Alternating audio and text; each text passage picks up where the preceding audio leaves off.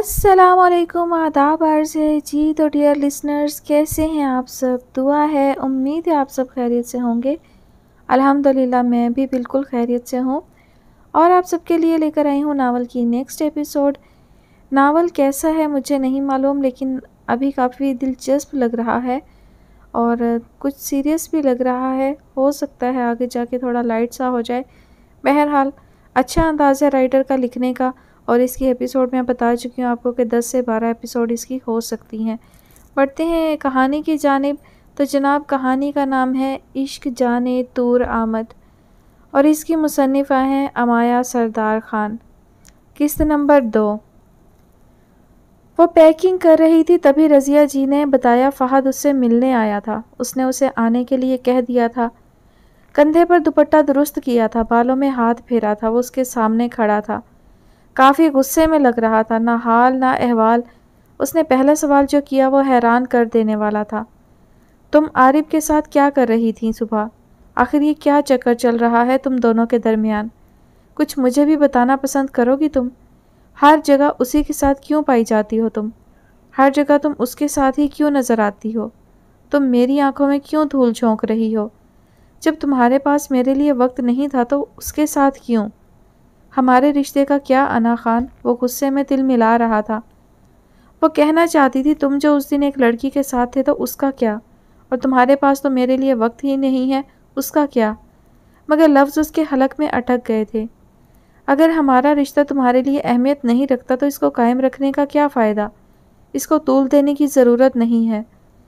अना को लगा वो सिर्फ़ एक बहाना तराश रहा था। वो इस रिश्ते से आज़ाद होना चाहता था। जवाब दो, अना खान। वो पूछ रहा था, उसके अंदाज में कोई मुरवत नहीं थी। वो मेरा कज़न है और बिज़नेस पार्टनर भी। तो अगर हम कोई बात कर रहे थे तो उसमें मुझे आपकी इजाज़त की ज़रूरत तो दरकार नहीं थी। आप चीज़ों को गलत अंदाज में ले रहे हैं। दिफा किया था। आप मसाइल को क्यों बढ़ा रहे हैं? आप सब कुछ मिक्स करके गलत रविश पर ले जा रहे हैं। गलत अंदाज में मत सोचें। अना ने वजाहत दी थी, हालाँकि वो खुद को जवाब दे नहीं समझती थी। हाँ गलत तो मैं ही समझ रहा हूँ। गलती तो सारी मेरी है।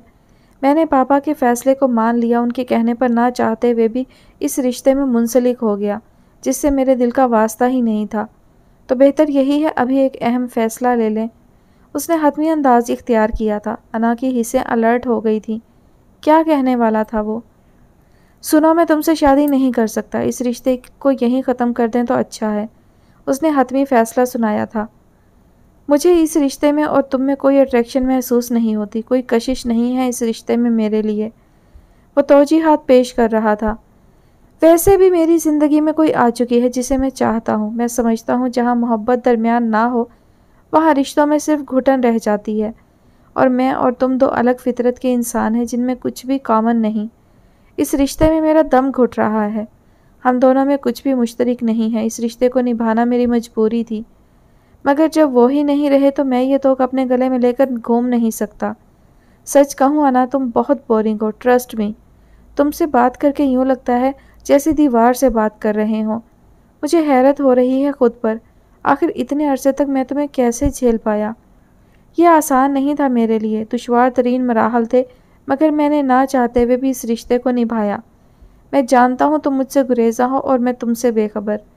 हम दोनों में तनाव की कैफियत बढ़ रही है। वैसे भी झूठ पर जिन रिश्तों की बुनियाद रखी हो, वो ज़्यादा देर तक नहीं चल सकते।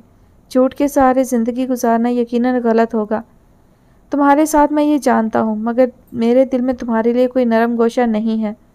मुझे सिर्फ़ तुमसे हमदर्दी है और हमदर्दी के सहारे ज़िंदगी नहीं गुजारी जा सकती। तुम किसी पिछले वक्तों की भटकी हुई रूह हो, जो गलती से इस दुनिया में आ गई हो। मगर आई एम सॉरी टू से ये तुम्हें ज़िंदगी जीना नहीं आता। तुम एक बूढ़ी रो हो कंजर्वेटिव सोच की मालिक हो तुम। आई मस्ट से तुम में ज़िंदगी की कोई रमक नहीं है। तुम मुझे अपने पल्लू से बांधना चाहती हो, मगर अफसोस, मैं इस खोटे पर बंधने को तैयार नहीं हूँ। ये नामुमकिन है। अफसोस, तुम्हारी यह कोशिश कामयाब नहीं हुई। मुझे कैद में रखने का तुम्हारा ख्वाब पूरा नहीं हो सकता। मैं कहीं एक जगह नहीं ठहर सकता। मैं तो आज़ाद मंच इंसान हूँ। मुझे कैदोबंद की सहूबतों से क्या काम? मुझे हर रोज़ नहीं जहाँ आबाद करने का शौक़ है। तुम्हारी ज़िंदगी तो जोहड़ की तरह है। ठहरे हुए पानी की तरह जिसमें बदबू बस जाती है। मैं ऐसी ज़िंदगी नहीं जी सकता। सो बेहतर यही है अपने रास्तों पर सफ़र करूँ।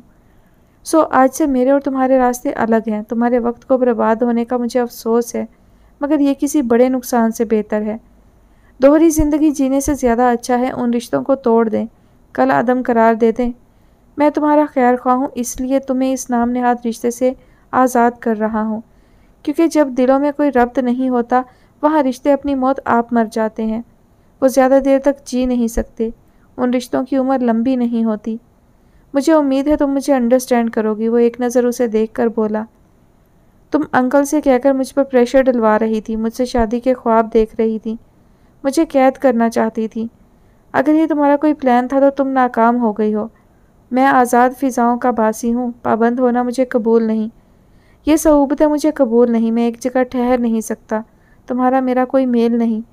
वो बहुत रूडली कह रहा था, सख्त अल्फाज से उसको हर्ट कर रहा था।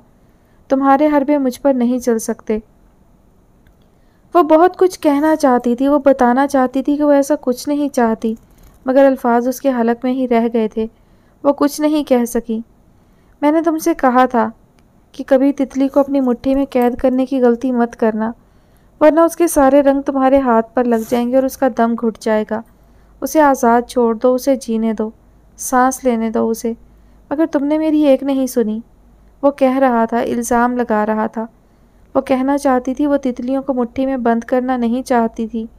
यह उसकी ख्वाहिश नहीं थी, ना ही फितरत, मगर वो कुछ ना कह सकी। वो उसे मौका ही नहीं दे रहा था, वो उसे जली कटी और खरी खरी सुना रहा था, बगैर किसी लिहाज और मुरवत के। हमेशा की तरह एक तरफा बातें एक तरफा सोचें और एक तरफा फैसला। वो सिर्फ़ अपनी बात कर रहा था। देखा, आज तुम खाली हाथ खड़ी होना तुम्हारे पास कुछ भी नहीं है। अगर तुम सिर्फ़ नाम की बीवी बनकर रहती तो ठीक था। मुझे मेरी ज़िंदगी मेरे अंदाज से जीने देती। मगर तुम्हें थोड़ा नहीं सब कुछ चाहिए। मेरी ज़िंदगी में अपने ढंग से गुजारना चाहता हूँ। इसमें तब्दीली मुझे कतन कबूल नहीं। वैसे भी इतना अरसा मसनू ज़िंदगी जी है। एक मसनू रिश्ता निभाया है, वो भी सिर्फ़ इसलिए कि बाबा और अंकल के बिज़नेस कॉन्ट्रैक्ट साइन हुए थे। मगर अब वो नहीं रहे तो ये रिश्ता रखने का तो सवाल ही पैदा नहीं होता। कतई नहीं। वो अपनी बात ख़त्म करके मुड़ा और अपने पीछे बंद दरवाज़ा छोड़ गया था। अना की आँखें धुआँ धुआँ थीं, वो साकत थी। चुपचाप खड़ी जैसे किसी, उसे किसी ने पत्थर का कर दिया था।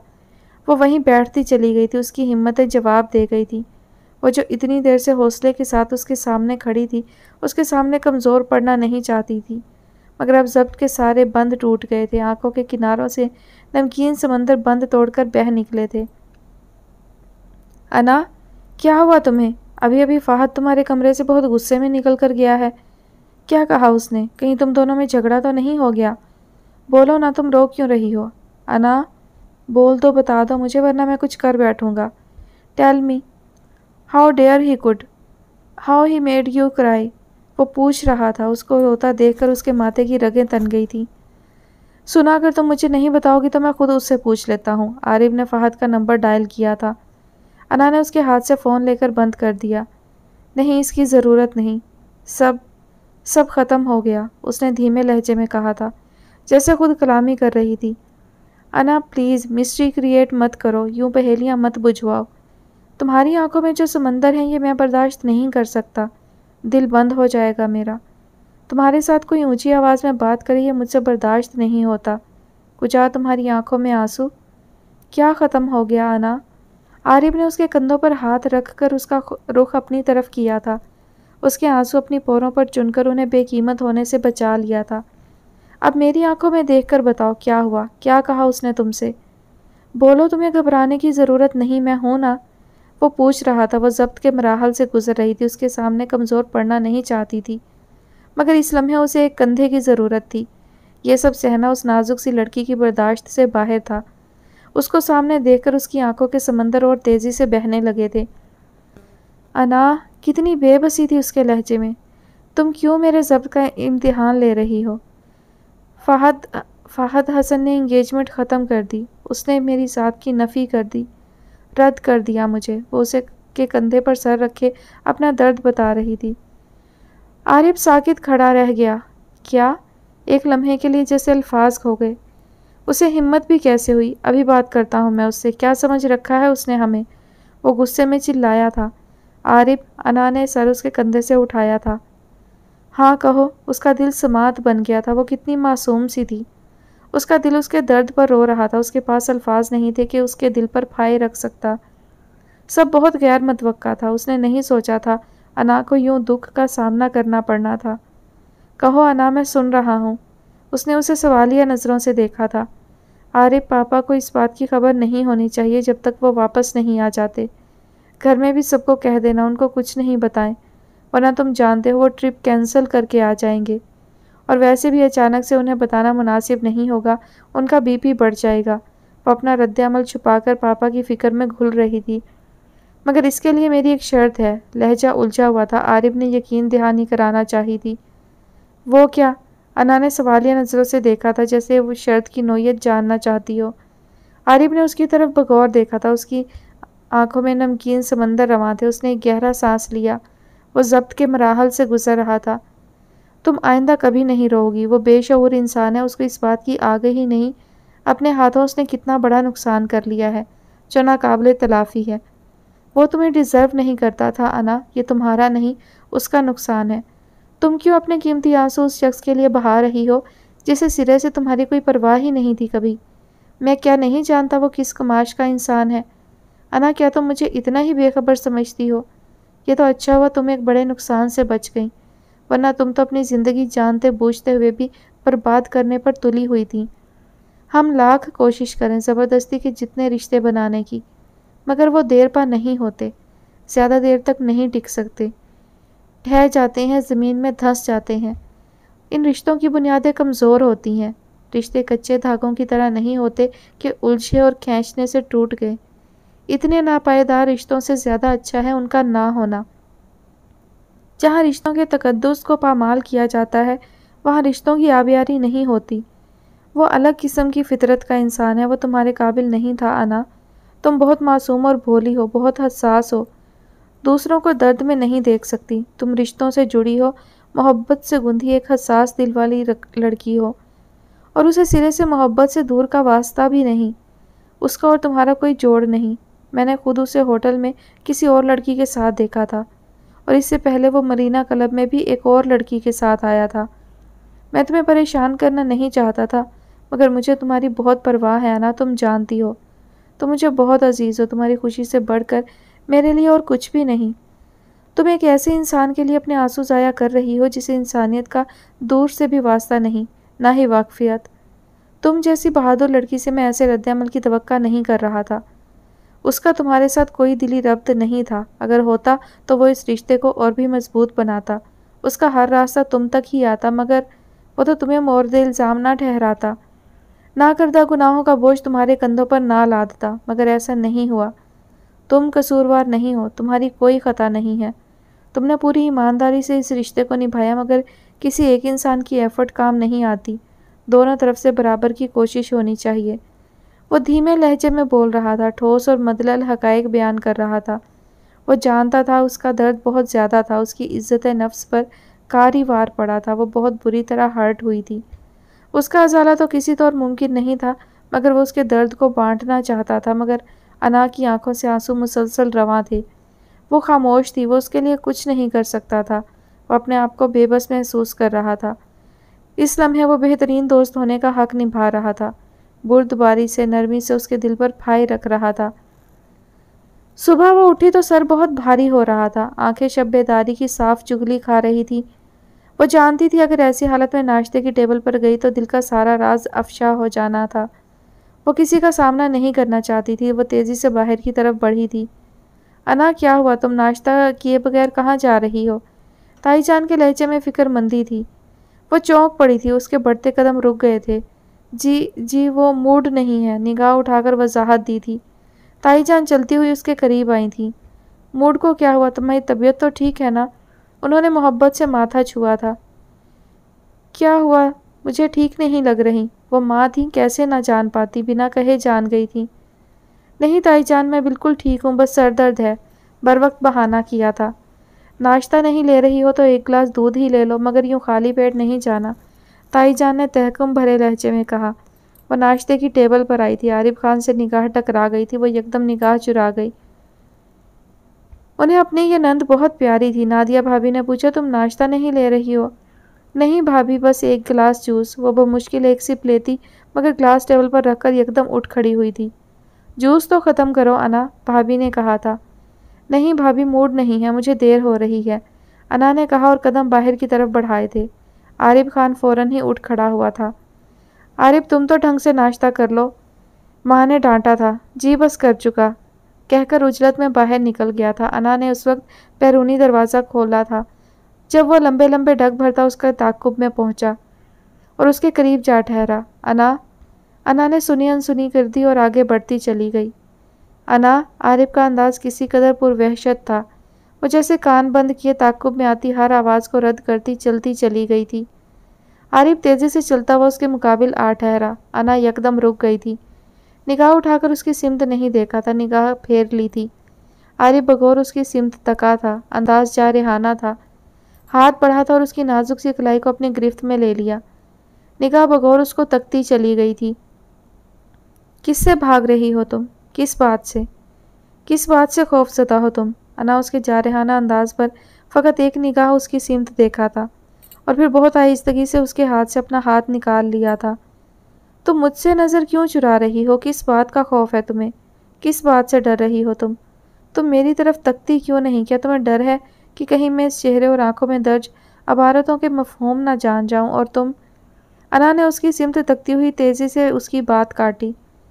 किसी बात का खौफ नहीं है मुझे, किसी बात से नहीं डरती मैं। प्लीज़ मुझे मेरे हाल पर छोड़ दो। तुम क्यों मेरे ताकुब में चले आते हो? क्यों मुझे मेरे संग नहीं चलने देते? अना ने धीमे लहजे में कहा था। आरिफ ने एक थकी बांधी सांस खारिज करते हुए बगौर उसे देखा। क्योंकि क्योंकि मैं जानता हूँ ये ठीक नहीं है, मैं तुम्हें इस मुश्किल में तनहा नहीं छोड़ सकता, उसने धीमे लहजे में कहा था। क्या ठीक नहीं है आरिफ वकार खान? वो जो मैं कर रही हूँ या वो जो तुम कर रहे हो? क्या समझते हो तुम? वो एक लम्हे को रुकी थी। मैं इतनी कमज़ोर नहीं हूँ आरिफ खान कि अपने आप को संभाल ना सकूँ। मुझे किसी की ज़रूरत नहीं है। अना ने उसे बावर करवाया था। वो शायद प्रीटेंड कर रही थी। यही तो मैं जानना चाहता हूँ अना फिर किस बात का तकाफुल है? क्यों तुम्हें हर लम्हा ये खौफ सताता है कि कहीं मैं तुम्हारी आँखों में दर्ज दास्तानों को हर्फ हर्फ ना पढ़ लूँ? ये बेरुखी, ये बेगानगी बेवजह तो नहीं, कुछ कह देने से तुम कमज़ोर साबित नहीं होगी अना खान। तुम्हारी बहादुरी पर कोई डाउट नहीं होगा। अगर तुम अपने दुख शेयर करोगी तो। मैंने अभी तक किसी से नहीं कहा, मेरा दिल चाह रहा है इसकी कड़ी सज़ा दो। मैं उसे आसानी से माफ़ नहीं कर सकता, उसने गुस्से में कहा था। तुम ऐसा कुछ नहीं करोगे आरिफ खान, तुम बहुत बड़े हो क्या? सारी दुनिया को सुधारने का ठेका तुमने उठा रखा है क्या? चैरिटी वर्क करने का बहुत शौक है तुम्हें। दुनिया को सुधारने का जिम्मा सिर्फ़ तुमने उठा रखा है। तुम अपने काम से काम क्यों नहीं रखते और काम का क्यों चाहते हो? मैं तुम्हें दिल जोई का मौका दूँ। तुम दिल जोई करोगे, जख्मों पर मरहम रखोगे। जख्मों पर मरहम रखने का बहुत शौक है तुम्हें। और क्या तवक्का कर रहे तुम मुझसे? क्या चाहते हो तुम? मैं रहूँ तुम्हारे शाने पर सर धर के, कमज़ोर पड़ जाऊँ टूट कर बिखर जाऊँ, और तुम बहुत बहुत शौक है तुम्हें रफूगरी का। क्यों भूल जाते हो तुम कि ये रफूगरी आसान नहीं? और तुम इस फ़न से कतई ना बल्द हो इस हुनरमंदी से बेबहरा हो, सिरे से वाकिफ़ ही नहीं। वो तेज़ी से कहते हुए एकदम जैसे थक कर रुक गई थी। एक निगाह उसकी सिमत तकने लगी थी, फिर आँखों में एक गुबार सा रुक गया था। निगाह डबडबाने लगी थी। आरिफ खान खामोशी से उसकी सिमत तकता। पुरगुबार आँखें उसकी जानब से फेरी थी और फिर एकदम चलती हुई वहाँ से निकलती चली गई थी। आरिफ वहीं खड़ा, उसकी सिमत देखता रह गया। उसे दूर जाते हुए कदमों को गिन रहा था। बेताबी और भी बढ़ गई थी। घर में अना खान की इंगेजमेंट टूटने की खबर आम हो चुकी थी। अहद खान किसी कदर बरहम थे, अफसरदा थे। बेटा, इतनी बड़ी बात हो गई और तुमने हमें बताया नहीं। उन्हें जैसे उससे यह तवक्का नहीं थी। अना सर झुकाए खामोश थी। फ़ाहद हसन की ऐसी हिम्मत भी कैसे हुई? क्या समझता है वो रिश्ते बनाना और तोड़ना बच्चों का खेल है? बात करता हूँ मैं उससे। हमारी बेटी इतनी अर्जा नहीं कि कोई आसानी से रद्द कर जाए। वो फ़ाहद हसन से जवाबदही चाहते थे। पापा, प्लीज़ आप ऐसा कुछ नहीं करेंगे, उसने सर नफ़ी में हिलाया था। क्यों? तुम क्यों चाहती हो कि फ़ाहद हसन से कोई बाज पुरस ना की जाए? और इतना कुछ हो गया, तुमने मुझे इन्फॉर्म करना भी ज़रूरी नहीं समझा। मेरा बिज़नेस ट्रिप कैंसिल हो सकता था, बेटा, मेरे लिए कोई भी चीज़ तुमसे बढ़कर नहीं है। तुम मेरी जान से ज़्यादा अज़ीज़ हो मुझे। तुम्हारी मॉम के बाद मैंने हर मुमकिन तरह से अपनी ज़िम्मेदारी को निभाने की कोशिश की है। मगर मुझे लगता है कि मैं नाकाम रहा। अपनी बेटी की खुशियों को नहीं बचा सका। उन्होंने खुद को कसूरवार ठहराया था। उनकी आवाज़ में शिकस्तगी थी। नहीं बाबा, ऐसा नहीं है। आपको परेशान नहीं करना चाहती थी। आप तो दुनिया के बेहतरीन बाबा हैं, मगर मैं नहीं चाहती थी। आप फ़ाहद हसन से बात करें। और उसने जो किया, वो उसका अमल था। हम किसी को ज़बरदस्ती मजबूर नहीं कर सकते। उसको फोर्स नहीं कर सकते रिश्ता निभाने के लिए। और अगर उससे बात करेंगे तो मैं खुद को मज़ीद अर्जा नहीं करना चाहती, पापा। फ़हद हसन से बात करने का मतलब ये है कि मुझे उसके फ़ैसले से किसी तरह का इख्तलाफ है और बास करने का मतलब इख्तलाफ के बावजूद मैं उस पर मुसलत होना चाहती हूँ। तो इम्पोज़ किया जाना ज़बरदस्ती कहलाता है अना ने धीमे लहजे में कहा था। यानी तुम चाहती हो हम किसी को भी इतनी छूट दे देंगे वो हमारे जज्बात को आसानी से धचका लगा सके। आहद जिसने बेटी को नाजों से पाला था, उसकी एक छोटी सी तकलीफ़ पर तड़प उठते थे और आज इतनी बड़ी तकलीफ़ पर उससे कुछ नहीं कह पा रहे थे। कैसी बेबसी थी ये अना खामोशी से बाप की तरफ़ देखने लगी। आहद खान ने नफ़ी में सर हिलाते अपने आप को अपनी लाडली बेटी के सामने बेबस पाया। बेटा, ये ठीक नहीं है, हमें खुद को इतना कमज़ोर कभी नहीं करना चाहिए कि जो चाहे हमें तकलीफ़ पहुंचाकर चला जाए। शायद वो मेरा गलत फ़ैसला था जिसका खमियाजा तुम्हें भुगतना पड़ा। कहीं ना कहीं तुम्हारी इस तकलीफ़ का मैं ज़िम्मेदार हूँ। इसकी वजह मैं ही हूँ, उन्होंने खुद को इल्ज़ाम दिया था। अना ने आगे बढ़कर उनका हाथ थाम लिया था, उन्होंने बेटी के सर पर हाथ धरे थे। मेरी बच्ची आई एम सॉरी मैंने तुम्हारे लिए खुशियाँ चाही थी, वो दुखी थे।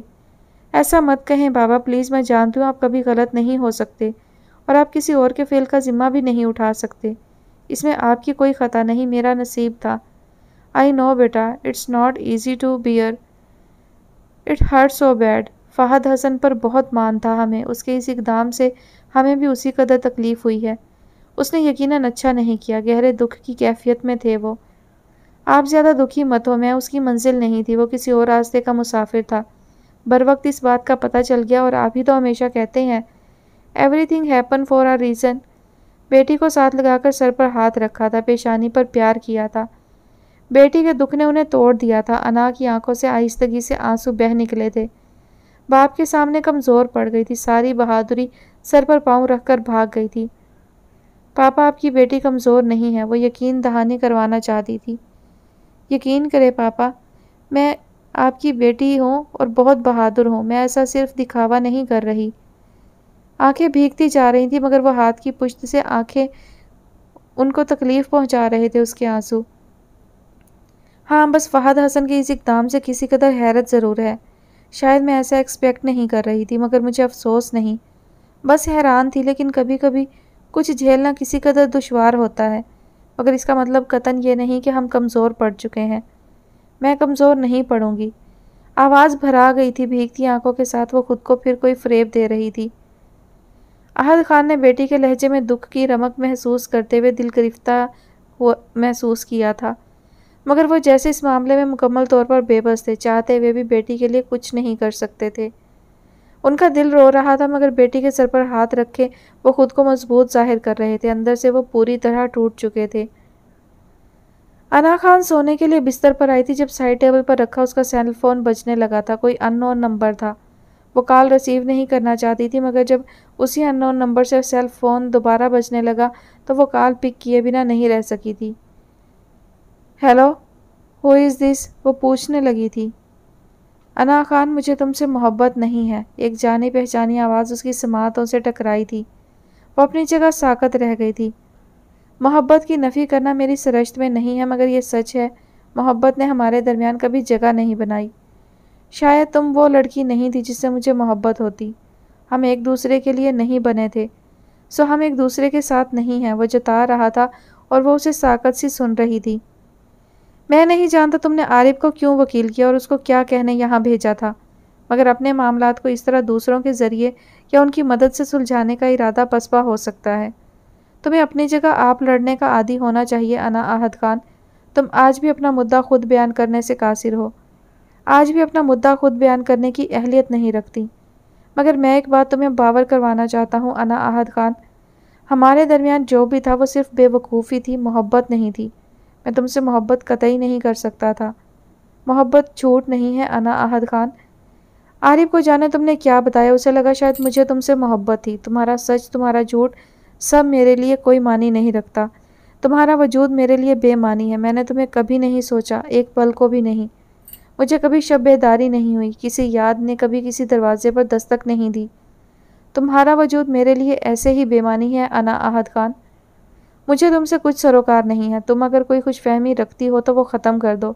खुश गुमानी भी है तो हकीकत कुछ नहीं, और अगर गलत फहमी में जी रही हो तो उससे बाहर आ जाओ। क्योंकि मोहब्बत सिर्फ़ बदल कर लिखा जाने वाला कोई किस्सा नहीं है। मोहब्बत को जिस तरह भी लिखोगी, उसका इदराक तुम्हें पूरे तौर पर होगा कि तुम सिर्फ़ झूठ लिख रही हो। तुम खुद को और धोखा देना चाहती हो या आस में ज़िंदा रहना चाहती हो तो शौक़ से पूरा करो। मगर यहाँ वापसी की कोई राह नहीं है। वो लहजा खुरदरा था। वो लफ्ज़ पिघले हुए शीशे की तरह उसके कानों में थे। उसे मान लेना पड़ा कि वो फ़ाहद हसन था। वो फ़ाहद हसन जिसे दूसरों की कभी कोई फ़िक्र नहीं रही थी। वही शख्स जो सिर्फ़ अपने मुफाद के लिए जीता था और अपने मुफाद के लिए कुछ भी कर सकता था। अगर उसके लिए भी अना अहद खान के दिल में कुछ फीलिंग्स थी तो उस लम्हे उसे शदीद पछतावा हुआ था। वो शख्स इस काबिल नहीं था कि वो उससे मोहब्बत करती, तभी वो चीखी थी। उसका दिल चाह रहा था कहीं दूर भाग जाए। उसने स्लीपर पाँव में पहने और टेरेस की तरफ़ बढ़ी। खुले आसमान की वसत को देखा था। एक गहरा सांस लिया था उसने। कहीं हलचल सी मची थी दिल में। रात के साय कुछ और गहरे हो गए थे। काश इस बेचैनी का कोई तदारक होता, मगर उसे लग रहा था जैसे वो एक बंद गली में खड़ी है। कोई रास्ता दूर दूर तक दिखाई नहीं दे रहा था। मंजिल नापैद थी। जाने कितनी ही देर गुजर गई। आरिफ चुपके से दबे पाँव चलता हुआ उसके करीब आ रुका। अना खामोशी से उस पर निगाह डाल रही थी। निगाह मिली, फिर वो चेहरे का जाविया फेर गई। उससे अजनबी हो गई थी। आरिफ उसके अजनबी रवैये को महसूस कर गया, मगर वो उसके बावजूद उसकी सिमत मतवजा था। वो उसकी सिमत तक रहा था। कोई आवाज़ नहीं, कोई बाज गश्त नहीं, मगर आरिफ की निगाहों में हद दर्जा वहशत रुकी हुई थी। एक गहरा इसतराब छलक रहा था। उन तमाम लम्हों की हज़ारों कथाएँ उसकी आँखों में दर्ज थीं। वो जैसे अहवाल छुपाने पर बाजिद भी नहीं। अना खान बहुत उलझन अंदाज में उसकी सिमत देखा। आँखों में वीरानी सी, वीरान और बंजर आँखें, सारे अक्स एक गहरी धुंध की लपेट में थे जैसे। क्या यह आसान है कि मैं तुमसे अजनबी हो जाऊँ और मैं तुमसे, तुम्हारे खदो खाल से बेगाना हो जाऊँ? भूल जाऊँ हर अक्स, हर नक्श, हर एहसास, हर बात। तुम समझती हो ऐसा कभी मुमकिन हो सकता है? मध्यम लहजे में कहा गया था। वह निगाह फेर गई थी। एक गुरेज है अंदाज में। आँखें धुंधलाने लगी थी। आरिफ ने बगौर उसकी आँखों में देखा था। और क्या यह मुमकिन है कि मैं भूलने के जतन करूँ और भूल भी सकूँ? वो बहुत आहिस्तगी से मुस्कुराया था। यह हज़ार हीले बहाने करूँ और कामयाब भी हो जाऊँ? कम अज़ कम ये मेरे बस की बात तो नहीं। मैं तो ऐसा सोच भी नहीं सकता। सो जान पर एक क्यामत गुजर जाएगी सोचूँगा भी तो। मध्यम लहजे में सरगोशी की थी। तुम्हें नहीं लगता आरिफ खान तुम बेमानी बातें करके अपना और मेरा वक्त बर्बाद कर रहे हो? वो किसी कदर उकताए हुए अंदाज में उसकी सिमत देख रही थी। आरिफ मुस्कुरा दिया था। तो अना आहद खान, अब तुम्हें हमारे ताल्लुक़ की बातें भी अनअवेलिंग लगती हैं। वक्त का ज़िया, किस कदर बदल गई हो तुम अना? अंदाज शिकवा कुना था। बेसबब इल्ज़ाम आयद करना तुम्हारी आदत हो गई है। आरिफ खान अपनी तरफ़ से मफरूज़े बनाने के आदि हो चुके हो तुम। ज़िंदगी मफरूज़ों पर नहीं गुजरती, जान लो तुम। अगर ऐसी बात है आना खान तो फिर मुझे ऐसा क्यों नहीं लगता? क्योंकि तुम्हारे सोचने का नज़रिया सिरे से गलत है। गलत है या तुम इसे गलत समझ रही हो, आरिफ ने उसकी आँखों में देखा था। उसने खामोशी से उसकी सिमत निगाह की थी। अगर तुम्हें लगता है कि मेरी अकल नापैद है और मेरी समझ ना काफ़ी है तो समझा दो वो सब। अगर तुम्हें लगता है कि मेरा इलम नाकिस है तो बता दो वो बात जो मैं समझ नहीं पा रहा हूँ। समझा दो वो सब जो तुम सही समझती हो, समझाना चाह रही हो। वो मध्यम लहजे में कोई दरख्वास्त कर रहा था। तुम्हारा प्रॉब्लम ये है आरिफ वकार खान कि तुम ज़िंदगी को संजीदगी से समझना ही नहीं चाहते हो। सब कुछ मज़ाक है तुम्हारे लिए, ये ज़िंदगी, ये वक्त, ये रिश्ते और फ़रूकी फिर बात को अधूरा छोड़ दिया। और और क्या अना वो जानना चाहता था, अधूरी बातों को जान लेने का ख्वाह था, लहजा बेताब था। पूरी जान जैसे समात बन गई थी। उसकी सिमत देखा था, फिर निगाह फेर गई। और अना ने जुमला अधूरा छोड़ा था। और क्या अना खान, बोलो मतम लहजा बेकरार था। और मैं भी, आरिफ ने बगौर उसकी सिमत देखा था। ये यकीनन तुम्हारा मिसकंसेप्शन है, अना खान। चीज़ों और बातों को समझने का तुम्हारा नज़रिया भी तो कितना बदल चुका है वह शिकवा गुना था। आरिफ खान, शायद यही वजह है कि तुम्हें वो सब कुछ समझ में नहीं आ रहा, जो मैं तुम्हें समझाना चाह रही हूँ। आरिफ ने किसी कदर पूरा अफसोस अंदाज में उसकी तरफ़ देखा था। हकीकत तो ये है, आना खान, तुम इस कॉन्फ्लिक्ट को बहुत बड़ा इशू बना रही हो। इस मामले को होना था, ये तय था, तुम्हें ये मान लेना चाहिए। मगर तुम मुसलसल मानने से इनकारी हो, कितनी अजीब हो गई हो तुम। एक और शिकवा था। तुम बदलने का इल्ज़ाम मुझ पर आयद कर रहे हो। आरिफ खान, मगर दरअसल तुम खुद भी बदल चुके हो। अना ने उसका तजिया किया। उसने बगौर उसकी आँखों में देखा था। क्या तुम ऐसा समझती हो? वो बहुत आहिस्तगी से उससे तरदीद चाहता था। जैसे वो कुछ नहीं कहती, खामोशी से निगाह फेर लेती है। गौर से देखो, अना खान, मैं वही हूँ। आज भी मैं तुम्हारी आँखों की तमाम तहरीरें पढ़ सकता हूँ। ये आँखें हज़ारों दास्तानें बयान कर रही हैं? इनमें तैरते खदशे और फिक्रें मुझसे छुपी नहीं। इनकी सुर्खी तुम्हारे रोने की साफ़ गवाह है। फ़ाहद हसन का फ़ोन आया था। उसने सवाल पूछा था और अना खान को हैरान कर दिया था। मगर वो इनकारी हुई थी। उसने नफ़ी में सर हिलाया। तुम फजूल में तुकबंदी मत करो, आरिफ खान, ऐसा कुछ भी नहीं है। वह निगाह चुरा गई थी। जैसे छुपाने की हज़ारहा कोशिशें नाकाम हो चुकी थी। गौर से देखो, अना खान, मैं वही हूँ। वही तुम हो, बस समझने के अंदाज बदल चुके हैं। सच कहूँ तो मुझे इस वक्त जैसे लगती हो, जो बहुत तेज़ी से बदल रहा था और मेरा साथ नहीं दे रहा। तुम कभी गौर से देखती तो जान पाती, मैं तो मुसलसल उन्हीं राहों पर सफ़र कर रहा हूँ। तुमने कभी मैग्नेटिक फ़ील्ड देखी है? मैं भी उस दायरे से माहो साल में गर्दिश कर रहा हूँ। तुम अगर एक निगाह करो तो जान जाओगी। मध्यम लहजे में वजाहतें थी अना खामोशी से देखने लगी थी। सच कहूँ, अना खान, बहुत बेहौसला लगती हो तुम मुझे। बहुत बेहिम्मत। कैसे जी रही हो तुम? तुम्हें नहीं लगता तुम किसी कदर बुजदिल हो? चिकन हार्ट हो। उसने धीमे लहजे में उस पर इल्ज़ाम लगाया जैसे वो उसे उकसा रहा हो। वो जानता था वो बात उसे तैश दिला सकती थी। बेजवाज बातों को लेकर यह ज्यूम मत किया करो तुम आरिफ वकार खान। बेफ़ायदा इल्ज़ाम आयद कर रहे हो तुम मुझ पर। और मैं ये कतन बर्दाश्त नहीं करूँगी। वो गुस्सा में थी। वो मुस्कुरा दिया। क्या आना खान? क्या? हाँ बोलो, क्या करोगी तुम? मुझे मार दो आना तुम। यूँ भी क्या जी रहा हूँ मैं? मार ही तो दिया है तुमने मुझे। अपना मुहासबा करो, आरिफ वकार खान। बहुत सी बातें खुदबा खुद तुम्हारी अकल में आ जाएँगी। वो मुस्कुराया था। नहीं समझना चाहता मैं अना खान इन बेतुकी बातों को। कतर नहीं, जिनका कोई जवाब नहीं, और जिन्हें तुम सोचकर हलकान हो रही हो, और अपना कीमती वक्त भी बर्बाद कर रही हो, और बचा कुचा जहन भी। उसने मशवरे से नवाजा था। मैं तुम्हारी तरह ना से नहीं बनना चाहती, ना ही मैं तुम में कोई रेवोल्यूशन लाना चाहती हूँ। बस मैं इतना चाहती हूँ, तुम मुझे सुकून से जीने दो। अना खान की हिम्मतें जवाब देने लगी थी, जैसे, ऐसा ही तो चाहता हूँ अना खान, वो बहुत आहिस्तगी से बोला था। I want to survive for sure and I know I am walking on the right path which takes me towards my destiny मगर मगर ये तभी मुमकिन हो सकेगा जब तुम भेदों को खुलने दो। इन हज़ारों दरवाज़ों को जो दिल में पिन्हा किए बैठे हो, मुझे जानने दो। आई नो आरिफ खान का लहजा धीमा था, मगर लगता था उसकी रसाई तमाम राजों तक थी, इसलिए कुछ छुपा हुआ नहीं था। जो आना के दिल में था या जो उसकी आँखों में था, वो हर्फ हर्फ पढ़ रहा था, जान रहा था। आरिफ खान, आखिर तुम चाहते क्या हो? तुम्हें पता है मैं नहीं टूटी बिखरी जब फाहद ने इंगेजमेंट तोड़ी थी। हमारे दरमियान बहुत सी बातों पर इख्तलाफात थे और इसके लिए मैं किसी को ब्लेम नहीं करती। मैं समझती हूँ यह मेरी किस्मत थी और इसके लिए जो है मैं किसी को मोरद इल्ज़ाम नहीं ठहराती। और तुम्हारी इतला के लिए अर्ज़ है कि मैं चिकन हार्टेड नहीं हूँ और ना ही बुजदिल हूँ। और क्यों आरिफ वकार खान, क्यों तुम मुझे कमज़ोर देखना चाहते हो? क्यों तुम्हारी ये ख्वाहिश है? मैं तुम्हारे कम, सामने कमज़ोर पड़ जाऊँ, तुम्हारे कंधे पर सर रख कर अपना दुख बहाऊँ। क्यों ये तुम्हें तस्कीन देगा क्या? वो बोलते बोलते जैसे थक गई थी, हज़ार जतन करती थी छुपाने के लिए। मगर आँखें डबडबा गई थी, उसकी आँखों से गर्म स्याल बह रहा था। मगर इससे पहले कीमती मोती बेकदर होकर उसने अपनी पौर पर उठा लिया, जैसे कीमती मता हो उसके लिए। कितने ताकतवर हथियारों से लैस हो तुम। मुझ जैसा दिल नातवा कहाँ तक सह सकता है ये वार? सच कहूँ तो मेरी हिम्मत नातवा है और हिकमत सिरे से नापैद और तुम्हें हारता हुआ तो मैं कभी भी नहीं देख सकता। तुम क्या नहीं जानती अना खान, तुम्हारी हार में मेरी हार है और तुम्हारी जीत मेरी खुशी। मगर तुम ये बात नहीं समझोगी। मैं तुम्हें रोते हुए नहीं देख सकता, मगर मैं चाहता हूँ तुम अपना दुख मुझसे शेयर करो, क्योंकि कह देने से दिल हल्का हो जाता है, मगर तुम नहीं जानना चाहती। तुम समझना ही नहीं चाहती। उसने कुछ देर तक उसे देखा था और फिर वहाँ से निकल गया। हीरा चलती हुई अना की तरफ़ बढ़ी थी। वो आरिफ को जाता देख रही थी, फिर निगाह अना की तरफ़ की, जो उसकी सिमत से रुख फेरे खड़ी थी।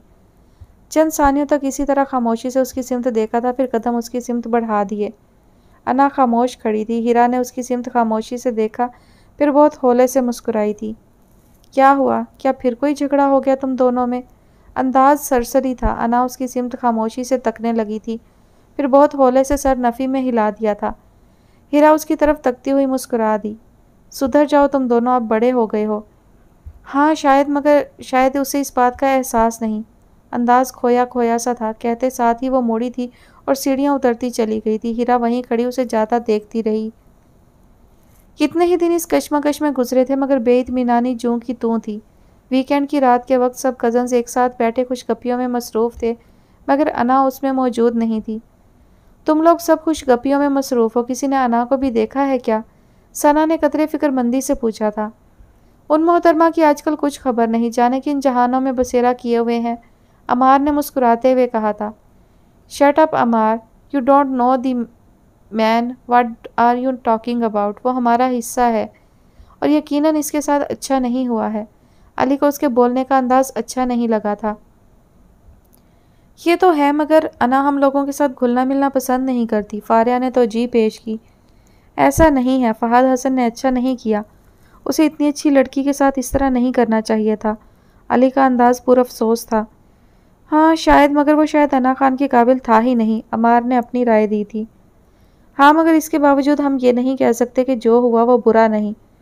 यकीनन, अना जैसी हसास लड़की के लिए ये एक बड़ा धचका है। वो बुरी तरह से हर्ट हुई थी। लेकिन अफसोस हम उसके लिए कुछ नहीं कर सकते। सना को अपनी प्यारी कज़न के हर्ट होने का वाकई बहुत दुख था। हाँ लेकिन हम उसकी दिलजोई तो कर सकते हैं, मगर वो इस लम्हे है कहाँ? अली को भी फ़िक्र हुई थी। पता नहीं, अभी कुछ देर कबल तो अपने कमरे में थी। मैंने यहाँ आने को कहा था तो सरस बात में हिला रही थी। मैं देख कर आती हूँ। फारिया चलती हुई बाहर निकल गई थी। हिरा खामोश थी। आरिफ किसी कदर गुमसुम सा था। एकदम बुझता हुआ वो चलता हुआ लान के पास जा रुका। हिरा ने बगौर उसकी सिमत देखा था। कामरान सूरत हाल की नज़ाकत को किसी कदर भापता हुआ उठ खड़ा हुआ था। हीरा की निगाह उसकी सिमत बंद गई थी। कजन्स ने फिर बोलना शुरू कर दिया। कामरान चलता हुआ आरिफ के पास जाकर रुका था। चंद सानियों तक तो खामोशी से उसकी सिमत देखा था। आरिफ इस सूरत हाल की किता नज़र दरीचे से पार बरसती बारिश को तकता रहा। क्या हुआ? माजरा क्या है? कोई मुश्ताक और तुम बेजार? कुछ तो सूरत हाल का अंदाज़ा करो यार। पहले की बात और थी। पहले तुम। कामरान कुछ कहते कहते रुक गया था। एक गहरी सांस खारिज की थी। एक नज़र कदरे फासले पर बैठी हीरा की तरफ़ निगाह की थी। हीरा उसी सिमत तक रही थी, मगर कामरान के मतवजा होने पर यकदम ही चेहरे का रुख फेर गई थी। कामरान आरिफ के कंधे पर हाथ रखे हुए था। ये ठीक है आरिफ खान। वक्त, हालात और सूरत हाल यकसर तब्दील हो चुकी है। तुम शायद भूल रहे हो। तुम एक नए बंधन में बंध चुके हो। और कोई और अब तुमसे वाबस्ता है। कुछ उम्मीद बेम तो होगा दूसरी जानब भी। तुम्हें नहीं लगता तुम्हें इस तरह नहीं करना चाहिए? हीरा क्या सोच रही होगी? कामरान दबे दबे लहजे में मध्यम आवाज़ में बोला, आवाज़ मोहतात थी, मगर दूसरी तरफ़ कैफियत बहुत मुख्तलिफ़ थी। आरिफ बेहद जारहाना अंदाज में उसकी सिमत देखने लगा। मुझे क्या करना चाहिए और क्या नहीं, ये सोच सोच कर मैं थक गया हूँ। तुम सब ये क्यों भूल जाते हो कि मेरी भी कोई ज़िंदगी है? मेरी भी कुछ तरजीहत हैं, मेरी भी कुछ ख्वाहिशें हैं, कोई मर्ज़ी है। खुद गर्ज हो रहे हो तुम सब, मगर मैं बहुत थक गया हूँ। दम घुटने लगा है मेरा, यह हर लम्हे का खौफ, एक मुरवत रवादारी, मुझसे ये नहीं होता सब। ये दोहरी ज़िंदगी मुझे बहुत मुश्किल लग रही है, मगर तुम सबको इस बात का अंदाज़ा नहीं है, क्योंकि तुम सब ये समझना चाहते ही नहीं हो। उसका लहजा भारी हो रहा था, एक थकन ठहर गई थी। ऐसी बात नहीं है, आरिफ, दरअसल आरिफ ने उसकी बात काट दी। बात ऐसी ही है कामी, मगर तुमको इसकी शिद्दत का अंदाज़ा नहीं है। क्योंकि तुम सब इन हालात से गुज़र नहीं रहे हो। इसलिए तुम्हारे लिए ये कहना आसान है। मगर मैं इन बेतुके जवाज़ों से ख़ुद को बहला नहीं सकता। मैं सफ़र कर रहा हूँ और ये सच है। मैं जानता हूँ जो कुछ भी हुआ या हो रहा है, यकीनन उसमें किसी का कसूर नहीं है, Arif. We all are please try to make sense no one is enemy we care about you तुम समझते क्यों नहीं? हम सब तुम्हारे लिए परेशान हैं, तुमसे सिंसेयर हैं। आरिफ खामोशी से चेहरे का रुख फेर गया। बाज़ जो बातें फौरी तौर पर समझ में नहीं आती वह वक्त गुजरने के साथ खुद ब खुद समझ में आ जाती हैं। फ़िलहाल जो सब तुम्हारे लिए बहुत मुश्किल है और ना समझ में आने वाला है, एक दिन इसकी हकीकत खुद ब खुद तुम पर खुल जाएगी और यकीन रखो ऐसा ज़रूर होगा। कामरान के लहजे में और उसके लिए खलूस झलक रहा था, उसका अंदाज पुर यकीन था। मगर तब तक मैं हाथ पर हाथ रख कर नहीं बैठ सकता, मैं खुद को हालात और वक्त के हवाले नहीं कर सकता। क्योंकि तुम्हारे लिए ये कहना जितना आसान है, मेरे लिए सहना उतना ही मुश्किल है। आरिफ ने कहा और चलता हुआ बाहर निकल गया था। कामरान उसकी सिमत देखता रह गया था। हिरा के चेहरे पर कोई तासुर नहीं, वो खामोशी से सूरत हाल को देख रही थी। जब वो कामरान से बात कर रहा था, तभी उसकी नज़र नीचे लान में पड़ी थी। वो सफ़ेद संगी बेंच पर बैठी जाने कब से भीग रही थी। वो फ़ौरन से पेशतर पलट कर उसकी जाने पेशकदमी की। हर निगाह उसके पुर उजलत इकदाम पर साकत रह गई थी। आरिफ बहुत जारहाना अंदाज में अना की तरफ़ बढ़ा और चलता हुआ उसके करीब जा रुका। उसे बगौर तकने लगा था। उसने निगाह उठाकर बहुत सरसरी अंदाज में उसकी सिमत देखा था। आरिफ दोनों हाथ बालों में फेरते हुए उसे बगौर देख रहा था। बारिश तेज़ी से उन दोनों को भिगो रही थी। आरिफ आहिस्तगी से उसके पास बेंच पर बैठ गया। वह निगाह झुकाए बैठी रही। क्या? क्या कर रही हो तुम यहाँ? किस बात का शौक बना रही हो तुम? क्या साबित करना चाहती हो तुम? बहुत मलाल है तुम्हें उस रिश्ते के टूटने का। बहुत दुख है इस बेफ़ायदा रफाकत के छूट जाने का। बहुत दुख सता रहा है उसके चले जाने का तुम्हारी ज़िंदगी से। बहुत ख़ास था वो तुम्हारे लिए। वो जारहाना अंदाज में पूछ रहा था, वो कुछ नहीं बोली, सर झुकाए खामोश रही। क्या साबित करना चाहती हो तुम? बहुत अफलातूनी किस्म की मोहब्बत थी तुम्हें फ़ाहद हसन से। उसके बगैर जीना दुशवार है तुम्हारा। उसके बगैर जी नहीं पा रही हो। वो खफा था उसके फेल से, उसने निगाह उठाकर उसकी सीमत देखा था। झूठ बोलना तुम्हें आता नहीं, अना खान, साफ़ पकड़ी जा रही हो तुम। साफ़ पढ़ रहा हूँ मैं तुम्हें हर्फ बहरफ I can read you because I can see in your heart you can't hide anything ever बहाना मत बनाना। उसने किसी कदर हैरत से उसकी तरफ़ देखा, फिर उसी लम्हे वहाँ से उठना चाहा था। वहाँ से फरार की राह तलाश की थी। आरिफ बहुत आहिस्तगी से उसका हाथ थाम गया। अना ने होंक होकर उसकी तरफ़ देखा था। क्या मुझे एक फेवर दोगी? क्या मुझे अपने कीमती वक्त में से कुछ लम्हात दे सकती हो? मैं जानता हूँ तुम बहुत से मसाइल का शिकार हो, लेकिन मुझे बहुत सारी चीज़ें ठीक करनी है जो आजकल बहुत ज़्यादा ख़राब हो रही हैं। मुझे उम्मीद है तुम मेरी दरख्वास्त पर गौर करोगी, क्योंकि तुम ही हो जो मुझे सब कुछ सॉल्व करने में मदद दे सकती हो। क्या तुम मेरी मदद करोगी सच में? वो धीमे लहजे में उससे दरख्वास्त कर रहा था। मैं नहीं समझती कि यहाँ ऐसा कुछ है या ऐसे इश्यूज़ हैं जिन्हें सॉर्ट आउट करने की ज़रूरत हो। और तुम्हें क्यों लगता है आरिफ खान के तुमने सारे जहान की ज़िम्मेदारी अपने कंधों पर उठा ली है? और अब हर तरह की फ़िक्र करना तुम्हारा ही फ़र्ज़ है। तुम मेरे दोस्त हो, मगर इसका मतलब कतन ये नहीं कि तुम मेरे निजी मामला में किसी तरह की कोई मुदाखलत करो। मैं तुम्हें इजाज़त नहीं दूँगी इसकी और कोई मुदाखलत कतन बर्दाश्त नहीं करूँगी। अना का अंदाज सर्द जामद और दो टोक था, वह मुस्कुरा दिया था। मैं ऐसा कतन नहीं सोचता, लेकिन मैं जो कह रहा हूँ, मेरा ख्याल है तुम उसे बखूबी समझ रही हो। मैं अपने मामला से अच्छी तरह वाकिफ़ हूँ, आरिफ खान। तुम प्लीज़ बेकार में मेरी फ़िक्र करना छोड़ दो। I would must like to let you know I am strong enough to sort out my all issues and I can handle all problems and matters too so मुझे नहीं लगता मुझे आपकी किसी मदद की ज़रूरत है। वो उसे जता रही थी, वो बहुत इतमान से मुस्कुरा दिया। तुम्हारी बातें आज भी मुझे बच्चों जैसी लगती हैं, आना। अगर तुम ऐसा सोचने लगी हो तो गालबन तुम गलती पर हो। और यूँ क्यों नहीं कहती कि निगाह चुराने की आदत होती जा रही है तुम्हें? अना उसकी सिम तो बहुत चौंकते हुए देखती है। हाथ बद दस्तूर उसके हाथ में था। तुम क्यों चाहते हो आरिफ खान कि मैं तुमसे किसी तरह का सख्त रवैया रखूँ? क्यों तुम मुझे जिज कर रहे हो? वो मुस्कुरा दिया था। तुम भी तो यही कर रही हो। अभी तो आगाज़ हुआ है। देखा ही क्या है तुमने कुछ? अभी तो बहुत कुछ देखोगी तुम। वो मध्यम लहजे में सरगोशी कर रहा था। क्या करोगे तुम? तुम्हें क्यों हर बात समझ में नहीं आ रही कि हम अच्छे दोस्त ज़रूर हैं, मगर हम अपने मामला में बहुत बेहतर तौर पर खुद हल कर सकते हैं। मुझे फ़िलहाल तुम्हारी किसी तरह की मदद की ज़रूरत नहीं। तुम्हारे ख्याल करने का, तुम्हारे कंसर्न होने का बहुत शुक्रिया, लेकिन मुझे तुम्हारी मदद नहीं चाहिए, इसलिए बेहतर होगा तुम दूर रहो। मुझे तुमसे किसी तरह का इजहार हमदर्दी की ज़रूरत नहीं है, ना ही मुझे तुम्हारा कंधा चाहिए है रोने के लिए। ना ही मैं रोना चाहती हूँ। ये बात तुम्हारी समझ में क्यों नहीं आती? और एक बात मैं तुम्हें बता दूँ। मुझे अपने रिश्ते या ताल्लुक़ को दोबारा से जोड़ने या बहाल करने की ज़रूरत नहीं है। फिर भी तुम्हें ख्वाहिश है कि तुम मुझे रोते हुए देखो तो ऐसा कभी भी नहीं होगा। तुम मुझे रोते हुए कभी नहीं देखोगे। ऐसा कभी नहीं होगा, आरिफ वकार खान, उसने सर नफ़ी में हिलाया था। तुम मेरे अंदर झांकने की कोशिश ज़रूर कर सकते हो, मगर मुझे पढ़ने का दावा कतन नहीं कर सकते। अना खान को अभी तुम समझते नहीं हो, तुम्हारे सारे दावे रेत की दीवार साबित होंगे। अंदाज पूरा अफसोस था, वो चेहरे का रुख फेर गई थी, जब्त के कड़े मराहल से गुजर रही थी। वो मुस्कुरा दिया था, बगौर उसकी सिमत देखा था। समझना ही तो चाहता हूँ, समझना ही तो चाहता था, मगर तुमने कभी मौका ही नहीं दिया। कितनी तवील फसीलें उठा रखी थी तुमने इर्द गिर्द।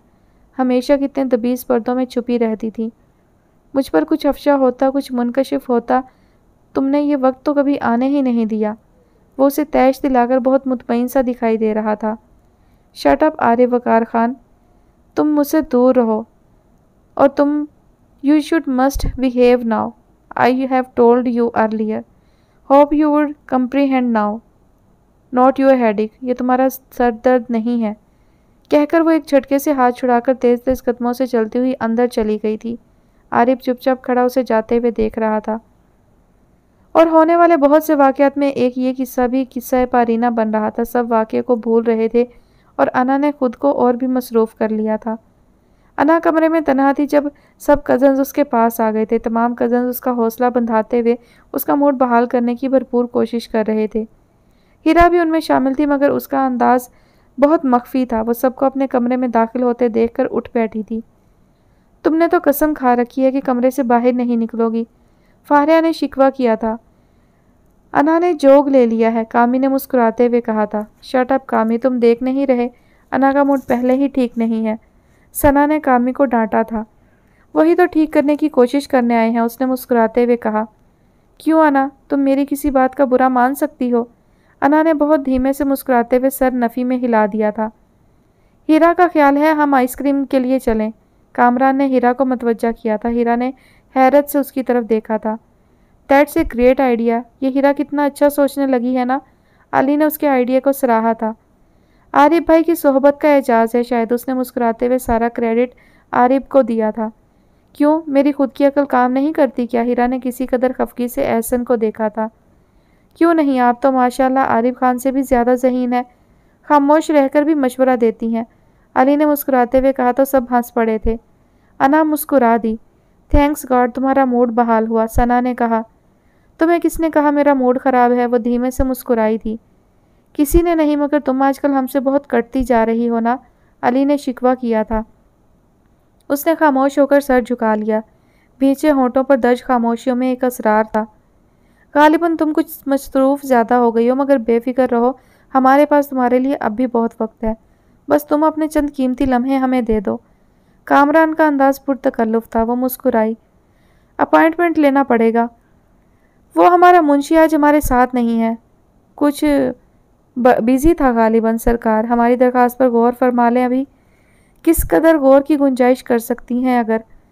कामरान का अंदाज आज जाना था, वो मुस्कुरा दी। अब जब इतना इसरार कर रहे हो तो गौर कर लेती है अना। हीरा ने भी कामरान का साथ दिया था। अना उसकी सिमत देखने लगी, फिर मुस्कुराते हुए उसका हाथ थाम लिया। चंद लम्बों तक उसकी सिमत खामोशी से देखा, तुम सब बहुत अच्छे हो। अना दिल से उनकी अच्छाई की मातरफ हुई थी। हाँ दुरुस्त फरमाया आपने, मगर आप बिल्कुल भी अच्छी नहीं हैं।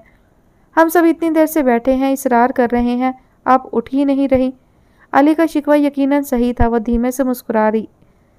आई एम सॉरी मैं शायद किसी कदर अपने गम में तुम सबको फरामोश कर गई थी, वो वाकई शर्मिंदा थी। हालाँकि आपको इतना सोचना चाहिए था कि और भी गम है ज़माने में फ़ाहद हसन के सिवा। कामरान ने मुस्कुराते हुए उसे सुनाया था। शट अप, कामी, हमेशा सोचे समझे बगैर बोलते हो। कामरान मसनू खफगी से मुँह फुलाने लगा। अना मुस्कुरा दी, फिर हीरा की तरफ़ देखा था। तुम्हारे मोहतरम फ्यांसी कहाँ है? अना हीरा की खामोशी महसूस कर सकती थी। पता नहीं, शायद कहीं मसरूफ़ होंगे, वो सर झुका गई। डोर खींच कर रखना मौसूफ, की इन मर्दों का कुछ एतबार नहीं। मौसमों की तरह इनका मिजाज तब्दील होता है। अना ने उसे तनबीह की थी, हीरा लब भींच कर मुस्कुराई थी। माहिराना राय से नवाज़ रही हूँ, पल्लू से बाँध कर रखना, मैं नहीं चाहती मेरे बाद कोई और पछताए। वैसे आरिफ खान की बात कुछ और है, वो खासा नाइस इंसान है। जानता है रिश्तों को तकदस किस तरह कायम रखना है, रिश्तों को किस तरह निभाना है, ये उसको अच्छी तरह मालूम है। रात वो मेरे लिए परेशान था और मैं उससे उलझ पड़ी, बाद में सोचा तो बहुत शर्मिंदगी हुई।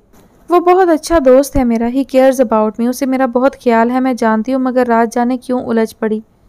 शायद मैं इस महाज पर खुद तनहा लड़ना चाहती थी, जो भी हो खुद उसे अपने आप झेलना चाहती थी। तुम्हें मिला तो मेरी तरफ़ से माजरत कर लेना, मैं उसकी दोस्ती की कदर करती हूँ, मगर कुछ मामला में किसी की मुआवनत अच्छी नहीं लगती।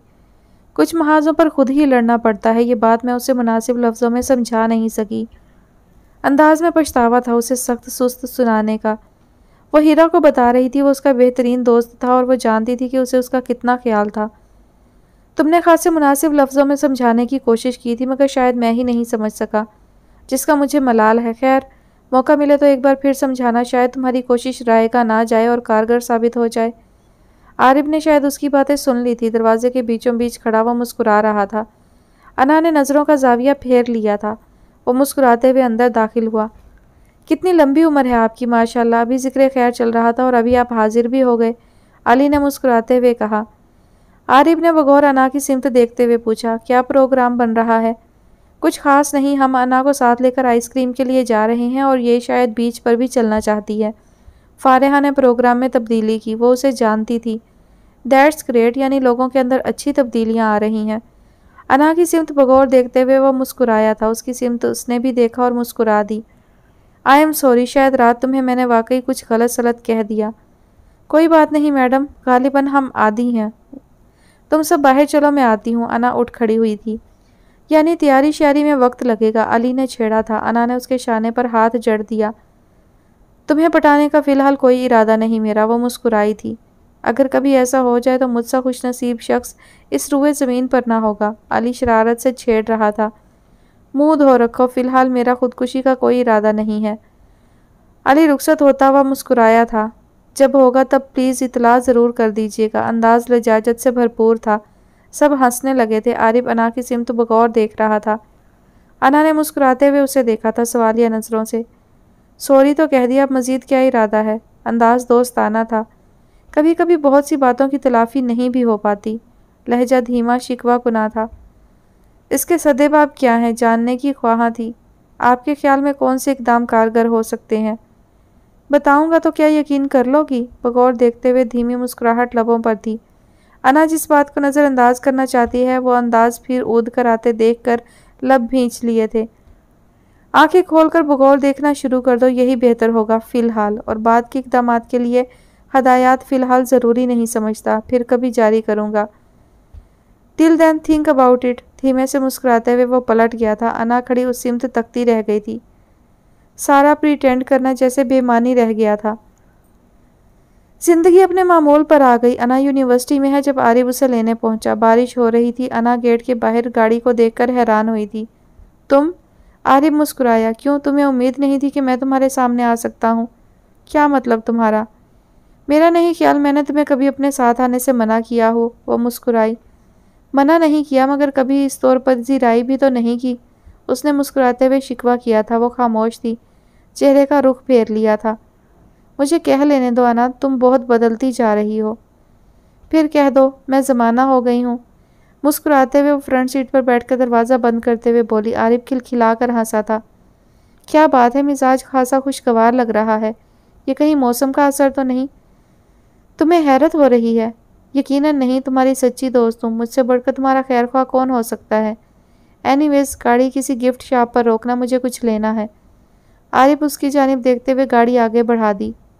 क्या लगता है आना, ज़िंदगी इस तरह नज़रअंदाज कर देने के लायक है? शायद नहीं। मेरी सोच तुम्हारी सोच से मुख्तलिफ़ बिल्कुल भी नहीं। अच्छा क्या वाकई किसी कदर हैरत से मुस्कुराते हुए? मुझे इसका अंदाज़ा नहीं था। उसने मुस्कुराते लब भींच लिए, फिर निगाह फेर कर खिड़की से बाहर देखने लगी। बहुत बिज़ी हो गए हो आजकल। हीरा को भी वक्त नहीं दे रहे हो। कितनी बुरी बात है ना? तुम्हें उसका ख्याल करना चाहिए। अब वो तुम्हारी ज़िम्मेदारी है। थैंक्स फॉर रिमाइंड इट वैसे हीरा ने कोई शिकवा किया तुमसे? उसे शिकवा नहीं, गालिबन शिकायत कहते हैं, वो मुस्कुराई थी। आरिफ कदरे इतमान से उसकी तरफ़ देखने लगा। अंदाज में किसी तरह की कोई हैरत नहीं थी। तुम्हें अपने बारे में बातें करना क्यों अच्छा नहीं लगता? वो उसकी तरफ़ देखती फिर मुस्कुरा दी। तुम क्यों चाहते हो कि मैं हर वक्त अपना ही राग लापती रहूँ? तुम्हें मुझे मौजूद गुफ्तगु बनाना ही अच्छा क्यों लगता है? मुस्कुराते हुए उसकी सिमत निगाह की थी, अंदाज टालने वाला था। जैसे वो उसकी तवज्जो अपनी तरफ़ हटा, से हटाना चाहती थी।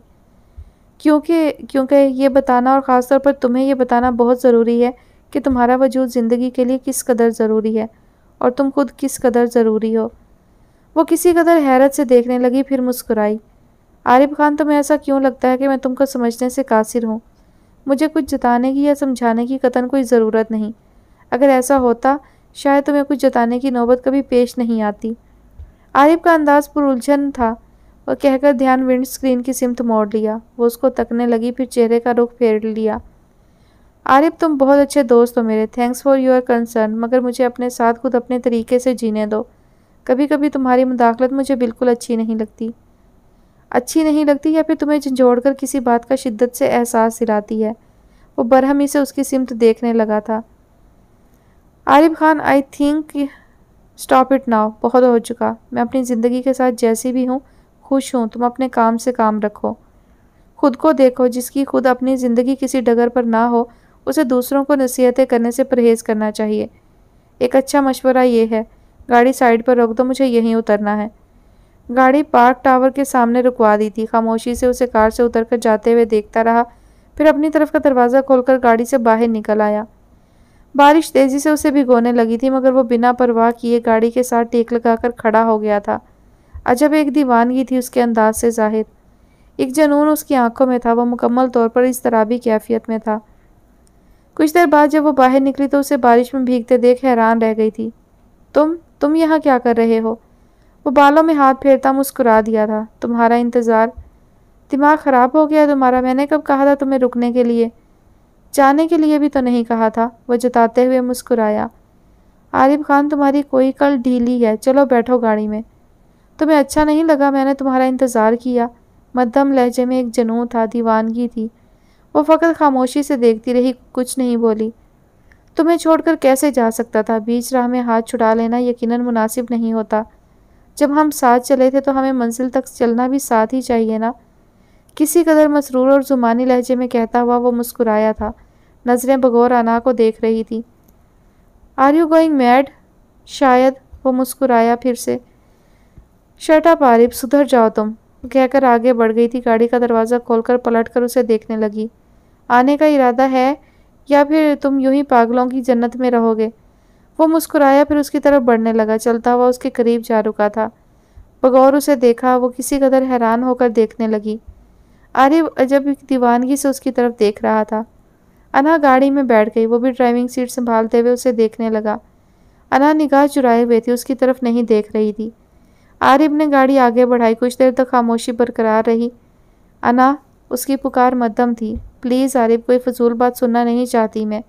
उसकी तरफ़ देखे बगैर उसने कहा, तुम मुझे कब तक चुप रखोगी अना? तुम क्यों चाहती हो कि तुम्हारी तरह मैं भी इन खामोशियों में दफन हो जाऊँ? तुम क्यों चाहती हो मैं भी सारी कथाओं को अनकहा रहने दूँ? क्यों तुम मुझे इन इस तराबों की नज़र कर देती हो और तुम्हें इसका एहसास भी नहीं होता? तुम क्यों मेरी बेचैनियों को रिसवा कर देती हो? तुम क्यों मुझे इन गहरे समंदरों की नज़र कर देती हो जहाँ डूबना तय है? क्यों तुम हर बार मुझे अपनी खामोशी में छुपे अनगिनत सवालों में उलझा देती हो? और मैं चाहूँ भी तो उससे निकल नहीं सकता। वो कोई जवाब दिए बगैर खिड़की से बाहर देखती रही। मैं तुमसे बात करना चाहता हूँ, अना, प्लीज़ मुझे मत रोको। बहुत कुछ कहना चाहता हूँ मैं तुमसे। सदियों के किस्से हैं। अनगिनत ख्वाबों ने मुझे कितनी रातों से सोने नहीं दिया। मैं उन नींदों का शुमार कैसे भूल जाऊँ? तुम जानती हो ना वो सारे लम्हे कितने भारी थे जिन्हें मैंने अब तक तनहा झेला। मध्यम लहजे में एक जनून था। वो चेहरे का रुख फेरे बैठी थी, उसकी आँखें और चेहरा बेतासुर था। Ana shut up Arif Khan please stop it अब अगर तुमने मज़ीद कुछ भी कहा तो मैं यहीं उतर जाऊँगी। उसने खफगी से धमकी दी थी। मैं मज़ीद कुछ नहीं सुनना चाहती। तब उसने खामोशी साध ली, एक निगाह अना की तरफ़ देखा और फिर चेहरे का रुख फेर लिया। गाड़ी में मुकम्मल खामोशी छाई रही। बारिश हो रही थी और खामोशी बढ़ती जा रही थी। सब खाने की टेबल पर मौजूद थे, मगर अना गायब थी। ताई अम्मा उसके कमरे में आई थी और उसे समझाने लगी थी। ताई अम्मा ने उसे माँ बनकर पाला था।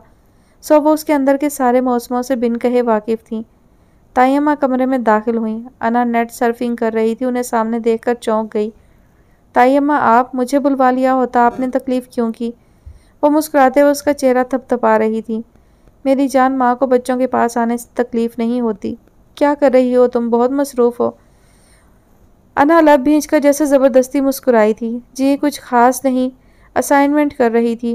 वो निगाह चुरा गई। ताई अम्मा के सामने वो कुछ भी बहाना चलने वाला नहीं था। वो जानती थी। इतना ज़रूरी काम था कि खाने का भी होश नहीं रहा। वो बस में आ रही थी ताई अम्मा। लबों पर मसनू मुस्कुराहट से जाना जैसे उसका मामूल बन गया था। ताई अम्मा बगौर उसकी सिमत देखने लगी। फिर हाथ उसके सर पर रख दिया। अना बेटा, ज़िंदगी बहुत खूबसूरत है। इसलिए फ़रार की राय इख्तियार करने वाले किसी कदर बेहौसला कहलाते हैं। ज़िंदगी में बहुत सी राहें पड़ती हैं, बहुत से मकामात हैं। राह में कई संगे मील आते हैं। चलते चलते कदम कभी रुक जाएँ, थकन बढ़ भी जाए या फिर राह खो जाए तो हौसला नहीं हार दिया करते। बात फ़कत सिमत और हौसले की होती है खिरदमंदी की होती है। कभी कभी बाहर की निगाह जब काम ना कर रही हो तो अंदर की निगाह से मदद तलब करनी चाहिए। अंदर की निगाह ज़्यादा खिरदमंद होती है, जो राह दिखाई देती है, वो ज़्यादा मुनासिब होती है।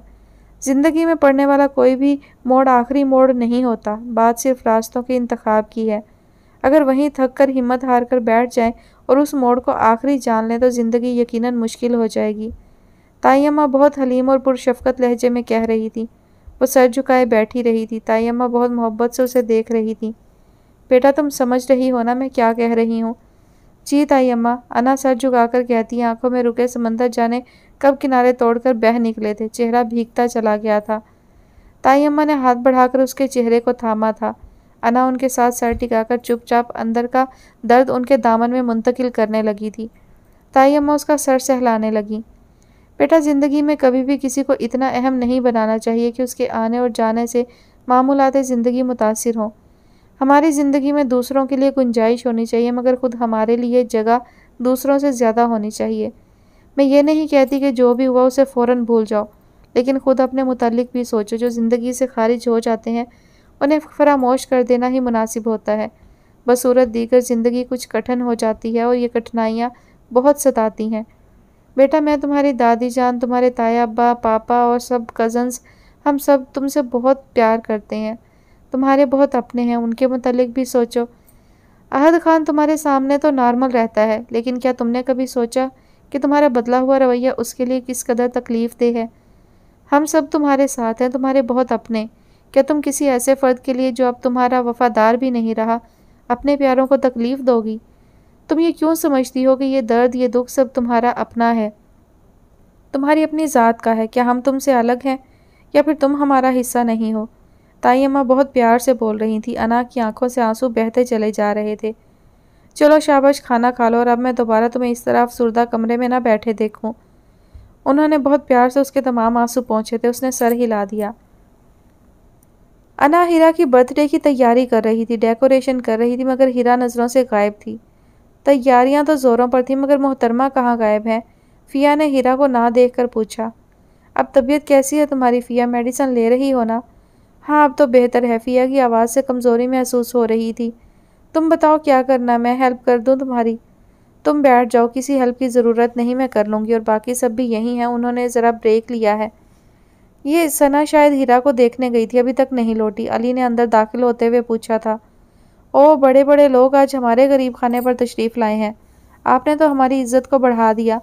शर्फ बख्श दिया हमें आज कामरान ने फ़िया को देखकर मुस्कुराते हुए कहा हाँ बहुत मसरूफ़ होना गरीब लोगों के लिए बिल्कुल भी टाइम नहीं। और गरीब लोगों के तो देखो जूते घिस गए हैं बहन के घर जाते हुए। फ़िया ने उसकी खिंचाई की थी। सॉरी आपी जी, मगर वाकई टाइम ही नहीं मिला। मगर आप बताएँ, अब आप कैसी हैं? अली को बहुत फ़िक्र थी अपनी प्यारी बहन की। मैं तो ठीक हूँ, ये आरिफ कहाँ है? आज मौसूफ से मनसूब इंतहाई अहम तरीन हस्ती का अहम तरीन दिन है, और हज़रत को खबर तक नहीं। इतने दिन हो गए हैं, मैंने उसे देखा ही नहीं। आज आए तो उसके कान खींचूँगी। फ़िया ने मसनू खफकी दिखाई थी। हाँ वो मंज़र तो शानदार होगा नहायत। कामरान मुस्कुरा दिया। सब हंसने लगे। वो सब जानते थे। फ़िया अपने लाडले भाई को कभी डांट नहीं सकती। वो उसे बहुत अज़ीज़ है। मगर यह हकीकत है, वो उसे मिस कर रही है, क्योंकि उसे देखे बगैर फ़िया को चैन नहीं था। वो कुछ मसरूफ़ होंगे ना? फ़ारहा ने भी आरिफ की साइड की तरफ़ तारी की। ओह हाँ ये अपने आरिफ में आजकल कुछ ज़्यादा ही मसरूफ़ नहीं हो गए? ऐसा ने मुस्कुराते हुए कहा। ऑब्वियसली काम है तो मसरूफ़ तो होंगे। मैं मीटिंग में उसके साथ ही था, उसे कुछ और काम निपटाने थे सो वो ऑफ़िस में ही रुक गया। अली ने गवाही दी थी। मगर यार, ऐसी भी क्या मसरूफियत की इतना अहम तरीन दिन भी याद ना रहे? गालबन मौसूफ ने हीरा को विश तक नहीं किया होगा। तभी वो किसी कदर अफसरदा दिखाई दे रही है। अब इस तरह तो होता है, इस तरह के कामों में फारहा अना को देखते हुए मुस्कुराई थी। क्यों आना अना कुछ नहीं बोली, बगैर कुछ कहे चेहरे का रुख फेर लिया था। लगता है सौदा कुछ ज़बरदस्ती का है, बात दिल को जमी नहीं। ये तो शर्त है कि दिल की बात हो तो दिल सबसे पहले पेश पेश होता है। लगता है आरिफ मियाँ का दिल ही नहीं रहा। अली ने मुस्कुराते हुए माहिराना तजिया बयान किया था। तुम चुप रहो, जब भी बोलते हो हमेशा फजूल ही बोलते हो। फारिहा को बुरा लगा, उसने अली को डांटा था। ये मामला दिल बहुत अजीब होते हैं, कुछ कह नहीं सकते भाई। कामरान ने मुस्कुराते हुए अली का साथ दिया था। ये तजियाती रिपोर्ट देना बंद करो। कोई जाकर हीरा को भी देख ले, कहाँ है वो? फिया ने दोनों को चुप करवाया था। बैठी होगी कहीं कोने खुदरे में, एक तरफा मामला थे दिल में, और क्या हो सकता है? कामरान मुस्कुराते हुए जाने क्या जताना चाहता था। अना, तुम क्या कहती हो? एक तरफा मोहब्बत के मुतालिक मुस्कुराते हुए उसकी तरफ़ देखा था। क्या क्या मतलब? इंतहाई पुरमाद नज़र आने वाली लड़की किसी कदर कंफ्यूज हो गई। वो शायद इस अचानक हमले के लिए तैयार नहीं थी।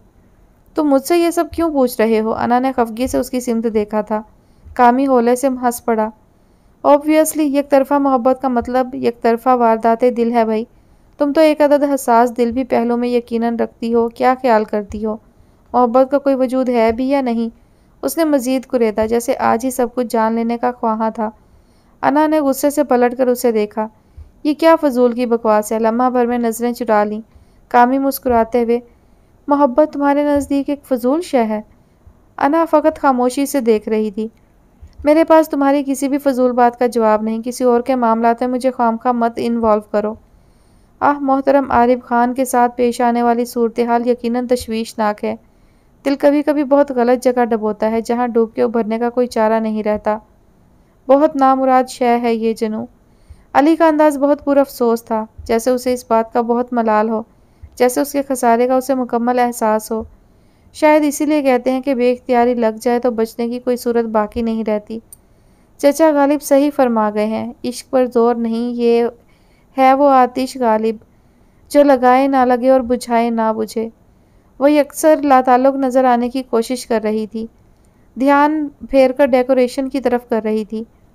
मोहब्बत अगर देखभाल कर या नाप तोल कर की जाए तो शायद नुकसान का इस दर्जा एहतमाल ना रहता।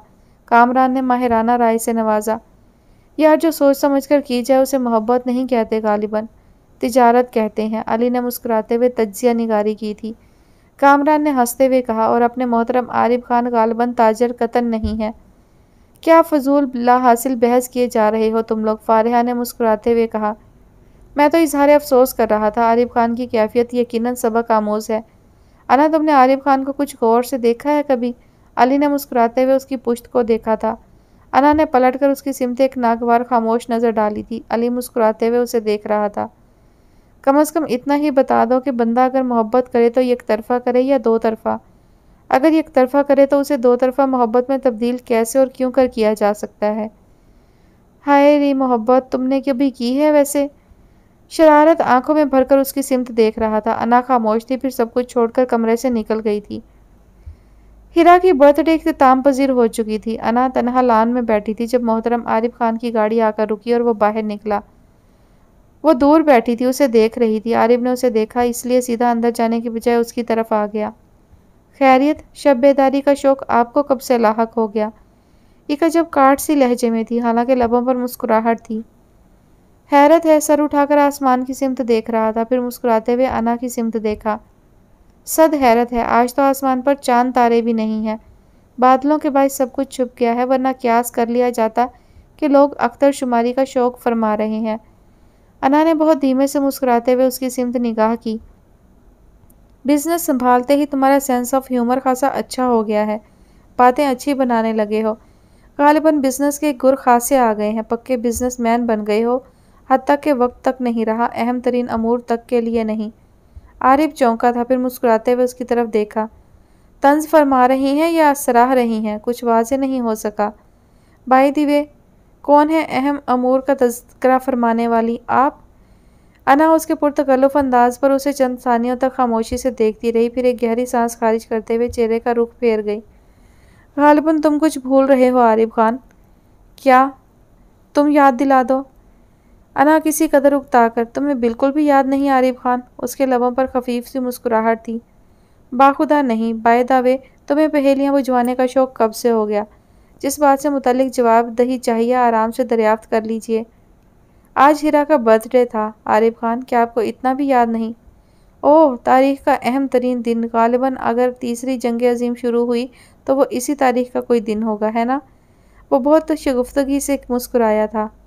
वाट डू यू थिंक कदरे झुक कर पूछा एम आई राइट कतन संजीदा नहीं है। लबों पर मुस्कुराहट और आँखों में शरारत। If it is a joke then it's really a bad joke पुरअफसोस अंदाज में उसने खफगी का इजहार किया था। आरिफ इतमान से मुस्कुरा दिया। कुछ देर तक उनके माँ बहन खामोशी रही। फिर वो दिलचस्पी से उसकी तरफ़ देखते हुए बोला, बहुत कुछ अजबर था, अना। बहुत कुछ याद रखने को, बहुत कुछ हिफ्स भी था, मगर तुमने सब भुला दिया। तुमने अना खान कुछ याद रहने ही नहीं दिया। लहजा मध्यम धीमी सरगोशी सा था। मुस्कुराहट लबों पर टूट गई थी। नज़र उठाकर उसकी सिमत तख्ता मुस्कुराया। तुम जानती हो ना, इश्क जब बोलता है तो खिरद सर पर पाँव रखकर कहीं भाग जाती है। उनसे लगते ख्वाब जिन पर अपनी कहानी शब्द करते हैं। क्या तुम्हें नहीं खबर? वो सब दूर तक जाते तुम्हारी राह तकते हैं। कहीं अनजान हो तुम इस बात से। क्या तुम नहीं जानती मेरे ख्वाबों को तकमील की हाजत है? मगर चार सू अधूरे मंजर, अधूरे रंग तुम्हारी अधूरी बातें, अधूरे किस्से, अधूरे ख्वाब मुझे अच्छे नहीं लगते। तुम्हारी यह खामोशी मुझे अच्छी नहीं लगती। एक जुनून था दीवानगी थी लहजे में। वो खामोश थी, चुपचाप उसे तकती रही। आरिफ ने मुस्कुराते हुए निगाह की। आप गालिबन कुछ कह रही थी। बाय द वे, आप इस तरह बगौर क्या देख रही थी? क्या इस एग्जेक्टिव शूटिंग में बहुत हैंडसम लग रहा हूँ? किसी कदर पूरा अफसोस अंदाज में उसकी सिमत निगाह की, यकीन नहीं हो रहा तुम वही आरिफ खान हो। आरिफ हँसते हुए बोला, बहुत कुछ बदल जाता है यहाँ मैडम। एक लम्हे में मंज़र बदलता है, निगाह हैरान रह जाती है। बाय मैं भी काफ़ी बदल गया हूँ, पहले एक बेफिक्र सा नौजवान था। अब फैमिली बिज़नेस संभालने लगा हूँ, सब बिज़नेस मैन हो गया हूँ। और तुम जैसी लड़की अगर मतवातर और पकौड़ देख रही है तो यकीनन कुछ हैंडसम भी हो गया हूँ। वो हंस दिया था, अंदाज संजीदा कतन नहीं था, जैसे वो तमाम बातों को मज़ाक में उड़ा रहा था। सच कह रहे हो, बहुत कुछ बदल जाता है यहाँ। शायद तुम भी बहुत बदल गए हो। धीमे लहजे में कहते हुए उसकी सिमत देखा, वो मुस्कुराया, तुम्हें मेरे बदलने पर तशवीश हो रही है? स्ट्रेंज? उसकी मुस्कुराहट गहरी हो गई। बगौर उसकी सिमत देखा, फिर बहुत धीमे लहजे में बोला, सुनो, मेरी आँखों में देखो ज़रा, शायद तुम्हें यकीन आ जाए कि सारे मंजर चूँकि तुम अपनी जगह रखे हुए हैं सारे रंग इसी रंग में रंगे हुए हैं। तुमने कभी गवारा ही नहीं किया, शायद तुम्हें फुर्सत ही नहीं। कभी देखने की, जानने की ज़रूरत ही नहीं समझी। अगर गौर करो तो शायद जान जाओ कि सब कुछ वही है। सब कुछ वही है, मगर तुम्हारी निगाह ही समझ नहीं पा रही या फिर समझना चाहती ही नहीं। वो महजूज होते हुए मुस्कुराया था, वो उसकी सिमत से निगाह फेर गई। शर्ट अब आरिफ खान दबे दबे लहजे में किसी कदर नागवारी से निगाह फेरते हुए वो डांट रही थी। तुम बहुत ज़्यादा मनफी बोलने की आदि हो।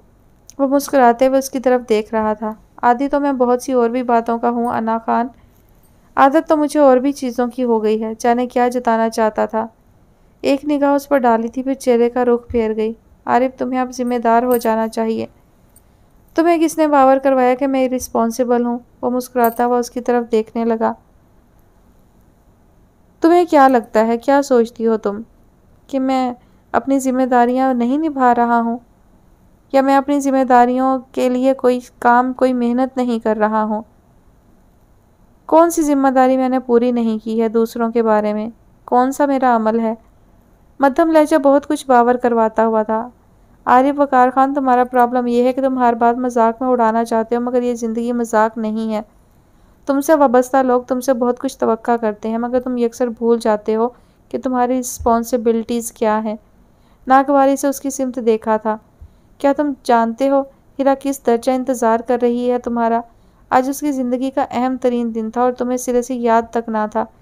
शिरकत करना तो दूर की बात, तुमने उसे एक कॉल करके विश तक करना गवारा नहीं किया। आरिफ खान, मुझे नहीं इलम था तुम इस कदर बदल जाओगे। अपने से वाबस्ता रिश्तों का मान तक नहीं रख पाओगे। अंदाज पर अफसोस था। कितना कितना दुख हुआ होगा ना हीरा को? कितनी शिद्दत से इंतज़ार कर रही होगी वो। और तुम्हें एहसास तक नहीं। इंतहाई इस्तेकाक से डांटा था उसने। वह इंतहाई इतमान से देखा था, कुछ सानियों तक उसकी सिमत फिर धीमे से गोया हुआ था। तुम्हें अंदाज़ा है इस बात का?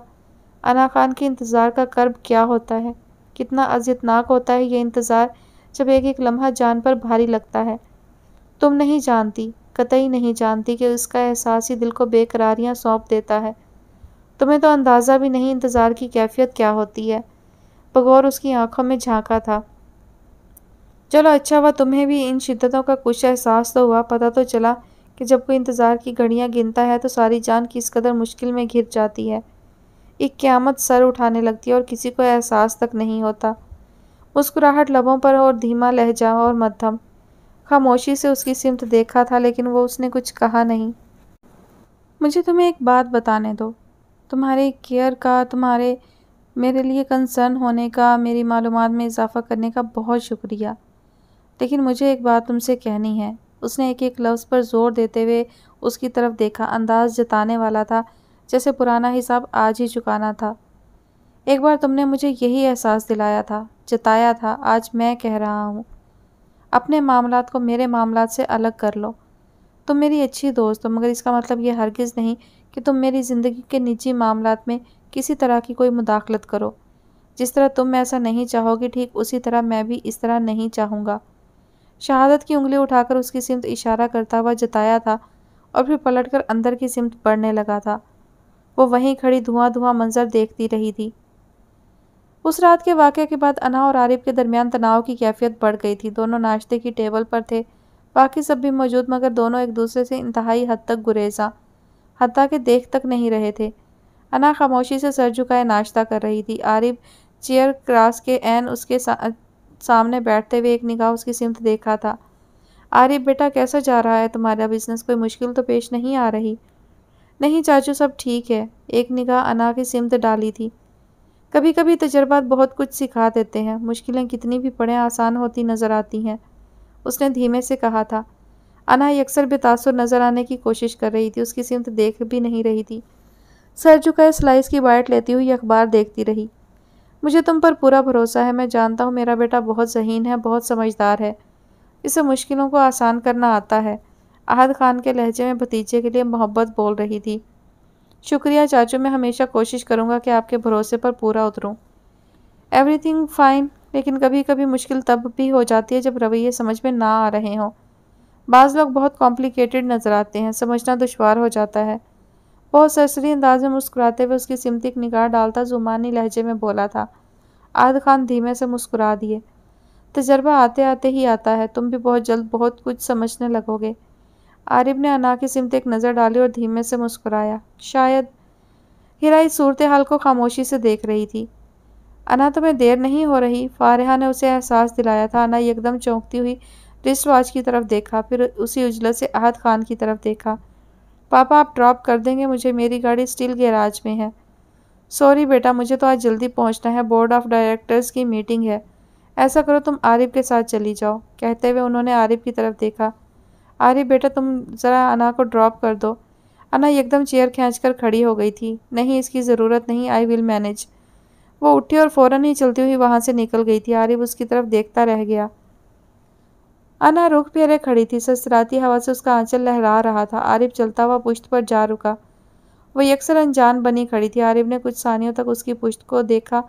फिर बहुत हौसले से सारी हिम्मतों को जैसे जमा करते हुए, एक गहरी सांस खारिज करते हुए उसकी सिमत निगाह की। सुनो, क्या माफ़ नहीं करोगी? I know I was being so blunt please forgive me मैं ऐसा कतन नहीं चाहता था। कतन भी नहीं, मगर तुम I did hurt you I know मगर तुम अना तुम अजनबी हो रही हो और मुझे ये बात अच्छी नहीं लग रही। आरिफ का लहजा जिस बात से पुर था, उसके अंदर के सारे रंग उस लम्हे उसकी आँखों में बोल रहे थे। अना उसकी सिमत देखे बगैर लब भींचे जैसे खुद पर जब्त के मरहले से गुजर रही थी। आँखें और अंदाज पुरमलोल था। तुम कितनी दूर यूँ खड़ी हो मुझसे? मीलों का फासला बढ़ा दिया है तुमने। हर गुजरता पल हमारे दरमियान मीलों की फसीलें उठा रहा है, सदियों की फसीलें उठा रहा है और अना, तुम्हें जाने क्यों एहसास तक नहीं? नहीं हो सकता मैं तुमसे अजनबी। मेरे लिए ये आसान नहीं है। तुम्हारी लाताल्लुकी को झेलना, तुम्हारी बेतनाइयों को बर्दाश्त करना मेरे लिए बहुत मुश्किल है, आना। ये जो तुम्हारे हमारे बीच सारे मौसम अजनबी हो रहे हैं, मुझे ये अच्छा नहीं लग रहा है। ये जो रंग बदल रहे हैं, लम्हे मुझे इनसे खौफ आता है। मुझे डर है, हर लम्हा एक वहम सताता है। हम भूली कथाओं में कोई दास्तान ना हो जाए। यह अजनबियत की दीवारें इतनी तवील ना हो जाएँ कि हम एक दूसरे को देखना चाहें भी तो देख ना सकें। तुम पता नहीं ये सब कैसे झेल सकती हो आना मैं तो सिर्फ़ सोचता भी हूँ तो मेरा दिल रुकने लगता है। मैं तुम्हारी लातालों की बर्दाश्त नहीं कर सकता। तुम जैसे चाहोगी, जो कहोगी मैं करूँगा, मैं हार मानता हूँ। पर प्लीज़ तुम कुछ बोलो तो सही। मेरी साँसें रुकती हैं तुम्हारी इस खामोशी से। मैं जानता हूँ मैंने गलती की है, मैंने तुम्हें हर्ट किया है। ये सब मेरे सर से ऊपर है, मैं बिल्कुल ही बिल्कुल ही नादान हूँ। लेकिन तुम कुछ बोलो तो सही, तुम इतनी चुप क्यों हो? तुम मुझसे बात क्यों नहीं कर रही हो? मैं तिफले मोहब्बत हूँ, अभी मोहब्बत के असरार और रमूज से पूरी तरह वाकफियत नहीं रखता। मैं इन रमूज से आग ही पाने की जस्तजू में लगा हुआ हूँ। ये मेरा कसूर है, मानता हूँ, मैं कदरे कुंद सहन वाक़ हुआ हूँ। वो मध्यम लहजे में एतराफ़ कर रहा था। मैं मोहब्बत के इन असरार को सीखने के लिए हर रोज़ गिरता हूँ, संभलता हूँ। कभी लगता है मोहब्बत की इन राजों से शनासाई होने लगी। मगर फिर वही ढाक के तीन पात, फिर वहीं खड़ा होता हूँ, जहाँ से सफ़र शुरू किया था। कभी लगता है बस मोहब्बत तक रसाई होने लगी है, पर मामला खुलता है अभी इन असरार से उनसियत नहीं हुई। मगर उन्हीं रास्तों पर सफ़र करना चाहता हूँ। चलना चाहता हूँ दिन रात बिना रुके, बिना थमे। एक वहशत है जो बढ़ती जा रही है, मगर जनून है जो थमने का नाम ही नहीं लेता। मध्यम लहजापुर जनून था। And I am sorry that I could not get to you इंतहाई जज्बाती लहजे में, धीमे लहजे में कहा गया था। वो पलटी थी, उसके करीब से गुजरने लगी थी। आरिफ ने एन उसी लम्हे उसका हाथ थाम लिया था।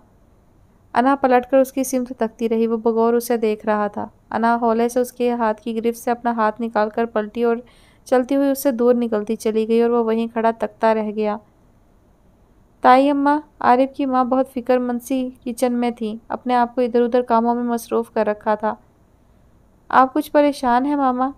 नादिया बगौर उनकी सिमत तकते हुए पूछ रही थी। उन्होंने सर नफ़ी में हिला दिया। नहीं, ऐसी कोई बात नहीं।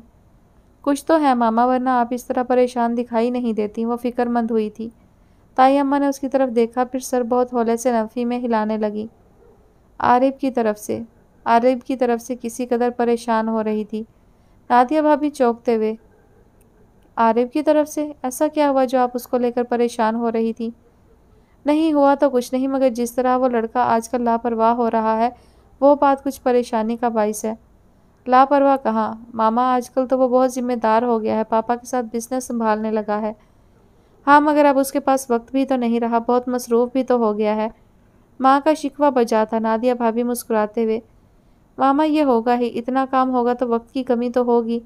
ऑब्वियसली बिज़नेस करना आसान नहीं है, मगर इसका मतलब ये कदर नहीं कि आप मेरे प्यारे देवर पर गैर जिम्मेदार होने का इल्ज़ाम आयद कर दें। ताई अम्मा किसी कदर तशवीश के साथ अफसरदा और मध्यम लहजे में बोली, मुझे वो खुश दिखाई नहीं देता, उसके चेहरे की रौनकें मादूम हो रही हैं। उसकी आँखों में वो चमक बाकी नहीं रही, जैसे वो अंदर ही अंदर घुलता जा रहा है। नादिया भाभी उनकी सिमत खामोशी से देखने लगी थी। सब कज़न्स मौजूद थे, मिलकर बैठे हुए थे। फारह ज़बरदस्ती अना का हाथ पकड़कर उसे सबके दरमियान ले आई थी। आरिफ उसे देख रहा था और उसकी आँखों में रोशनी भर गई थी। मुझे लग रहा है हम सब भूल रहे हैं, वो पहले जैसे कोई बात नहीं रही। मौजूद तो सब इस घर में है, मगर गुरेज कुछ बढ़ रहा है। कुछ अजनबी अजनबी हो रहे हैं। सना का तजिया काफ़ी गहरा था। आपको ये गुमान भी क्यों कर गुजरा? बाखुदा, हम तो ऐसा कोई कदम उठाने के मुतालिक सोच भी नहीं सकते। अली ने अजब ड्रामाई अंदाज इख्तियार करते हुए मुस्कुराते हुए सना की सिमत देखा।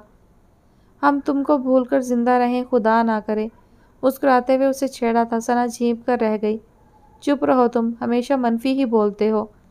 भाई, आपने शिकवा किया, हमने वजाहत पेश कर दी, अजब क्या कहा? अली ने मुस्कुराते हुए कहा, नहीं सना, ठीक कह रही है, हम कुछ कम कम साथ बैठने लगे हैं। बात शायद ये भी है कि अब कुछ मसरूफियत बढ़ गई है, कामी ने सना का साथ दिया था। हम अगर दिल से दिल करीब होने चाहिए, इसी तरह के फासले मायने नहीं रखते। फवाद ने मुस्कुराते हुए कहा था वाह, क्या करोड़ों की बात की है आपने। वाकई दिल से दिल करीब होने चाहिए, फासले मानी नहीं रखते। मैं तो पूरी तरह आपके साथ हूँ इस सोच में। अली ने मुस्कुराते हुए आरिफ की सिमत देखा था। मोहतरम आरिफ साहब, आप कुछ रोशनी डालेंगे इस अहम तरीन मकौले पर? आरिफ बहुत धीमे से मुस्कुराते हुए, क्या कह सकता हूँ, कभी तजर्बा नहीं हुआ। अंदाज बुझा बुझा सा था।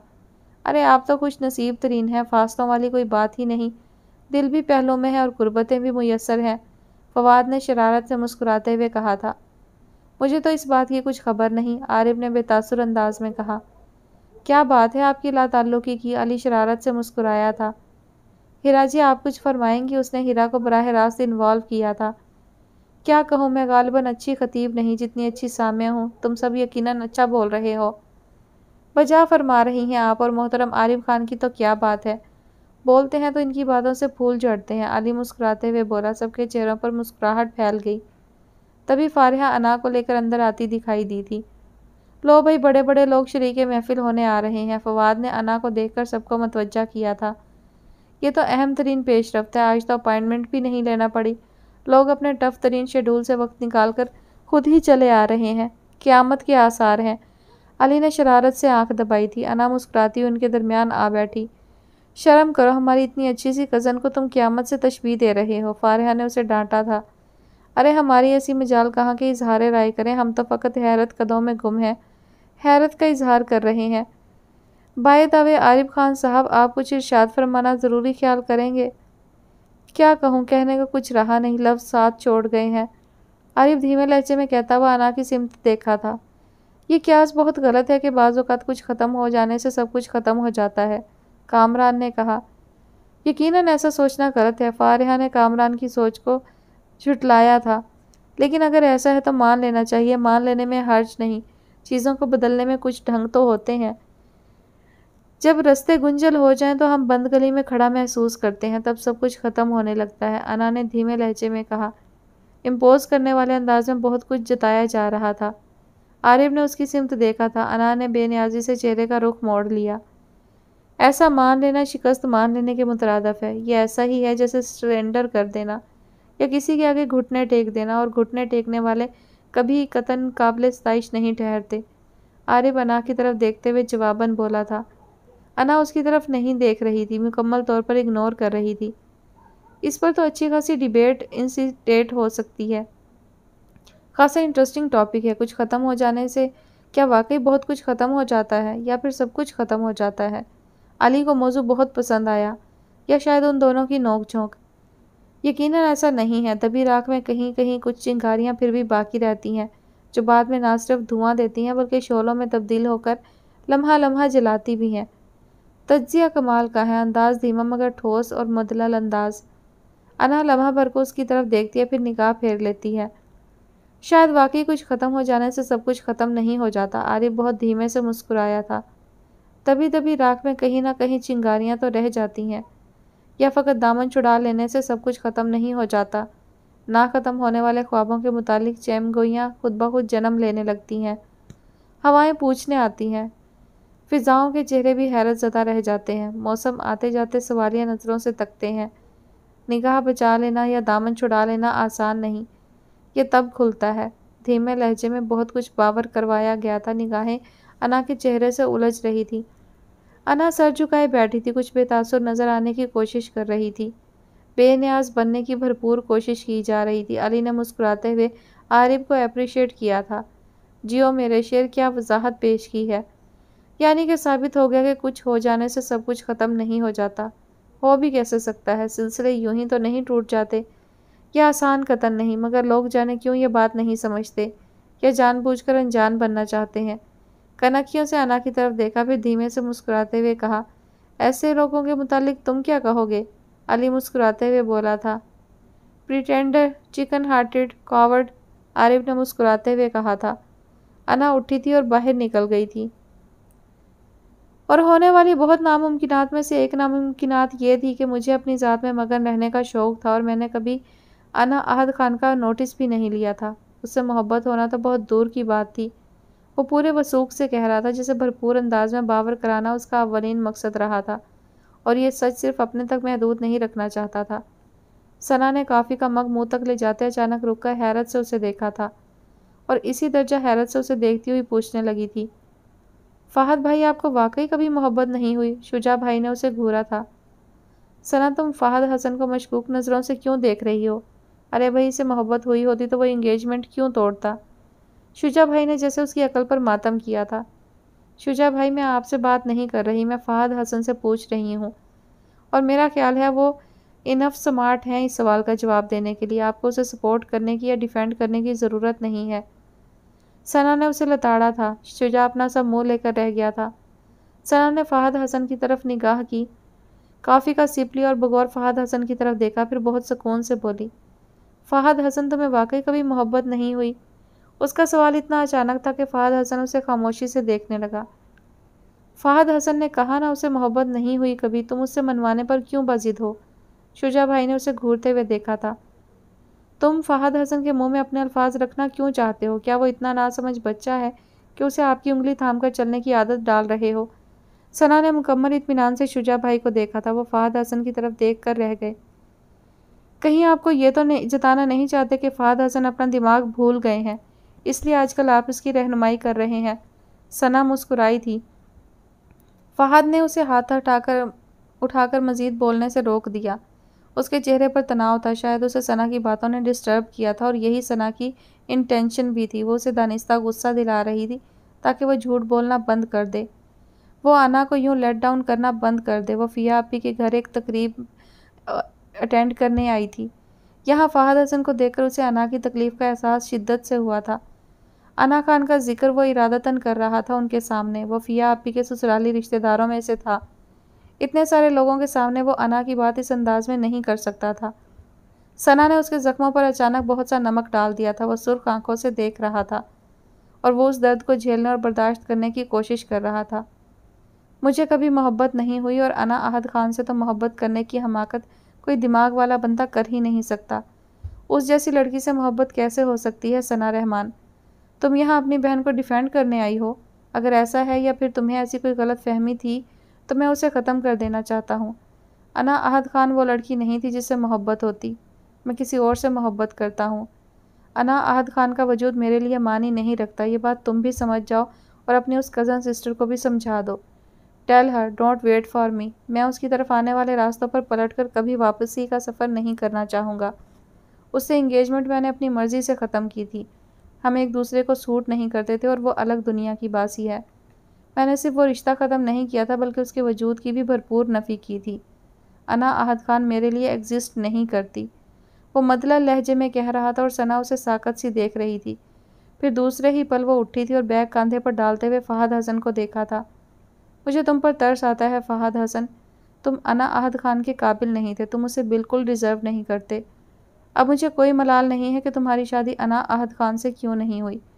वो कहकर पलटी थी और चलती हुई वहाँ से निकल गई थी। फ़हद हसन तनाव भरे चेहरे के साथ उसको देखता रहा था।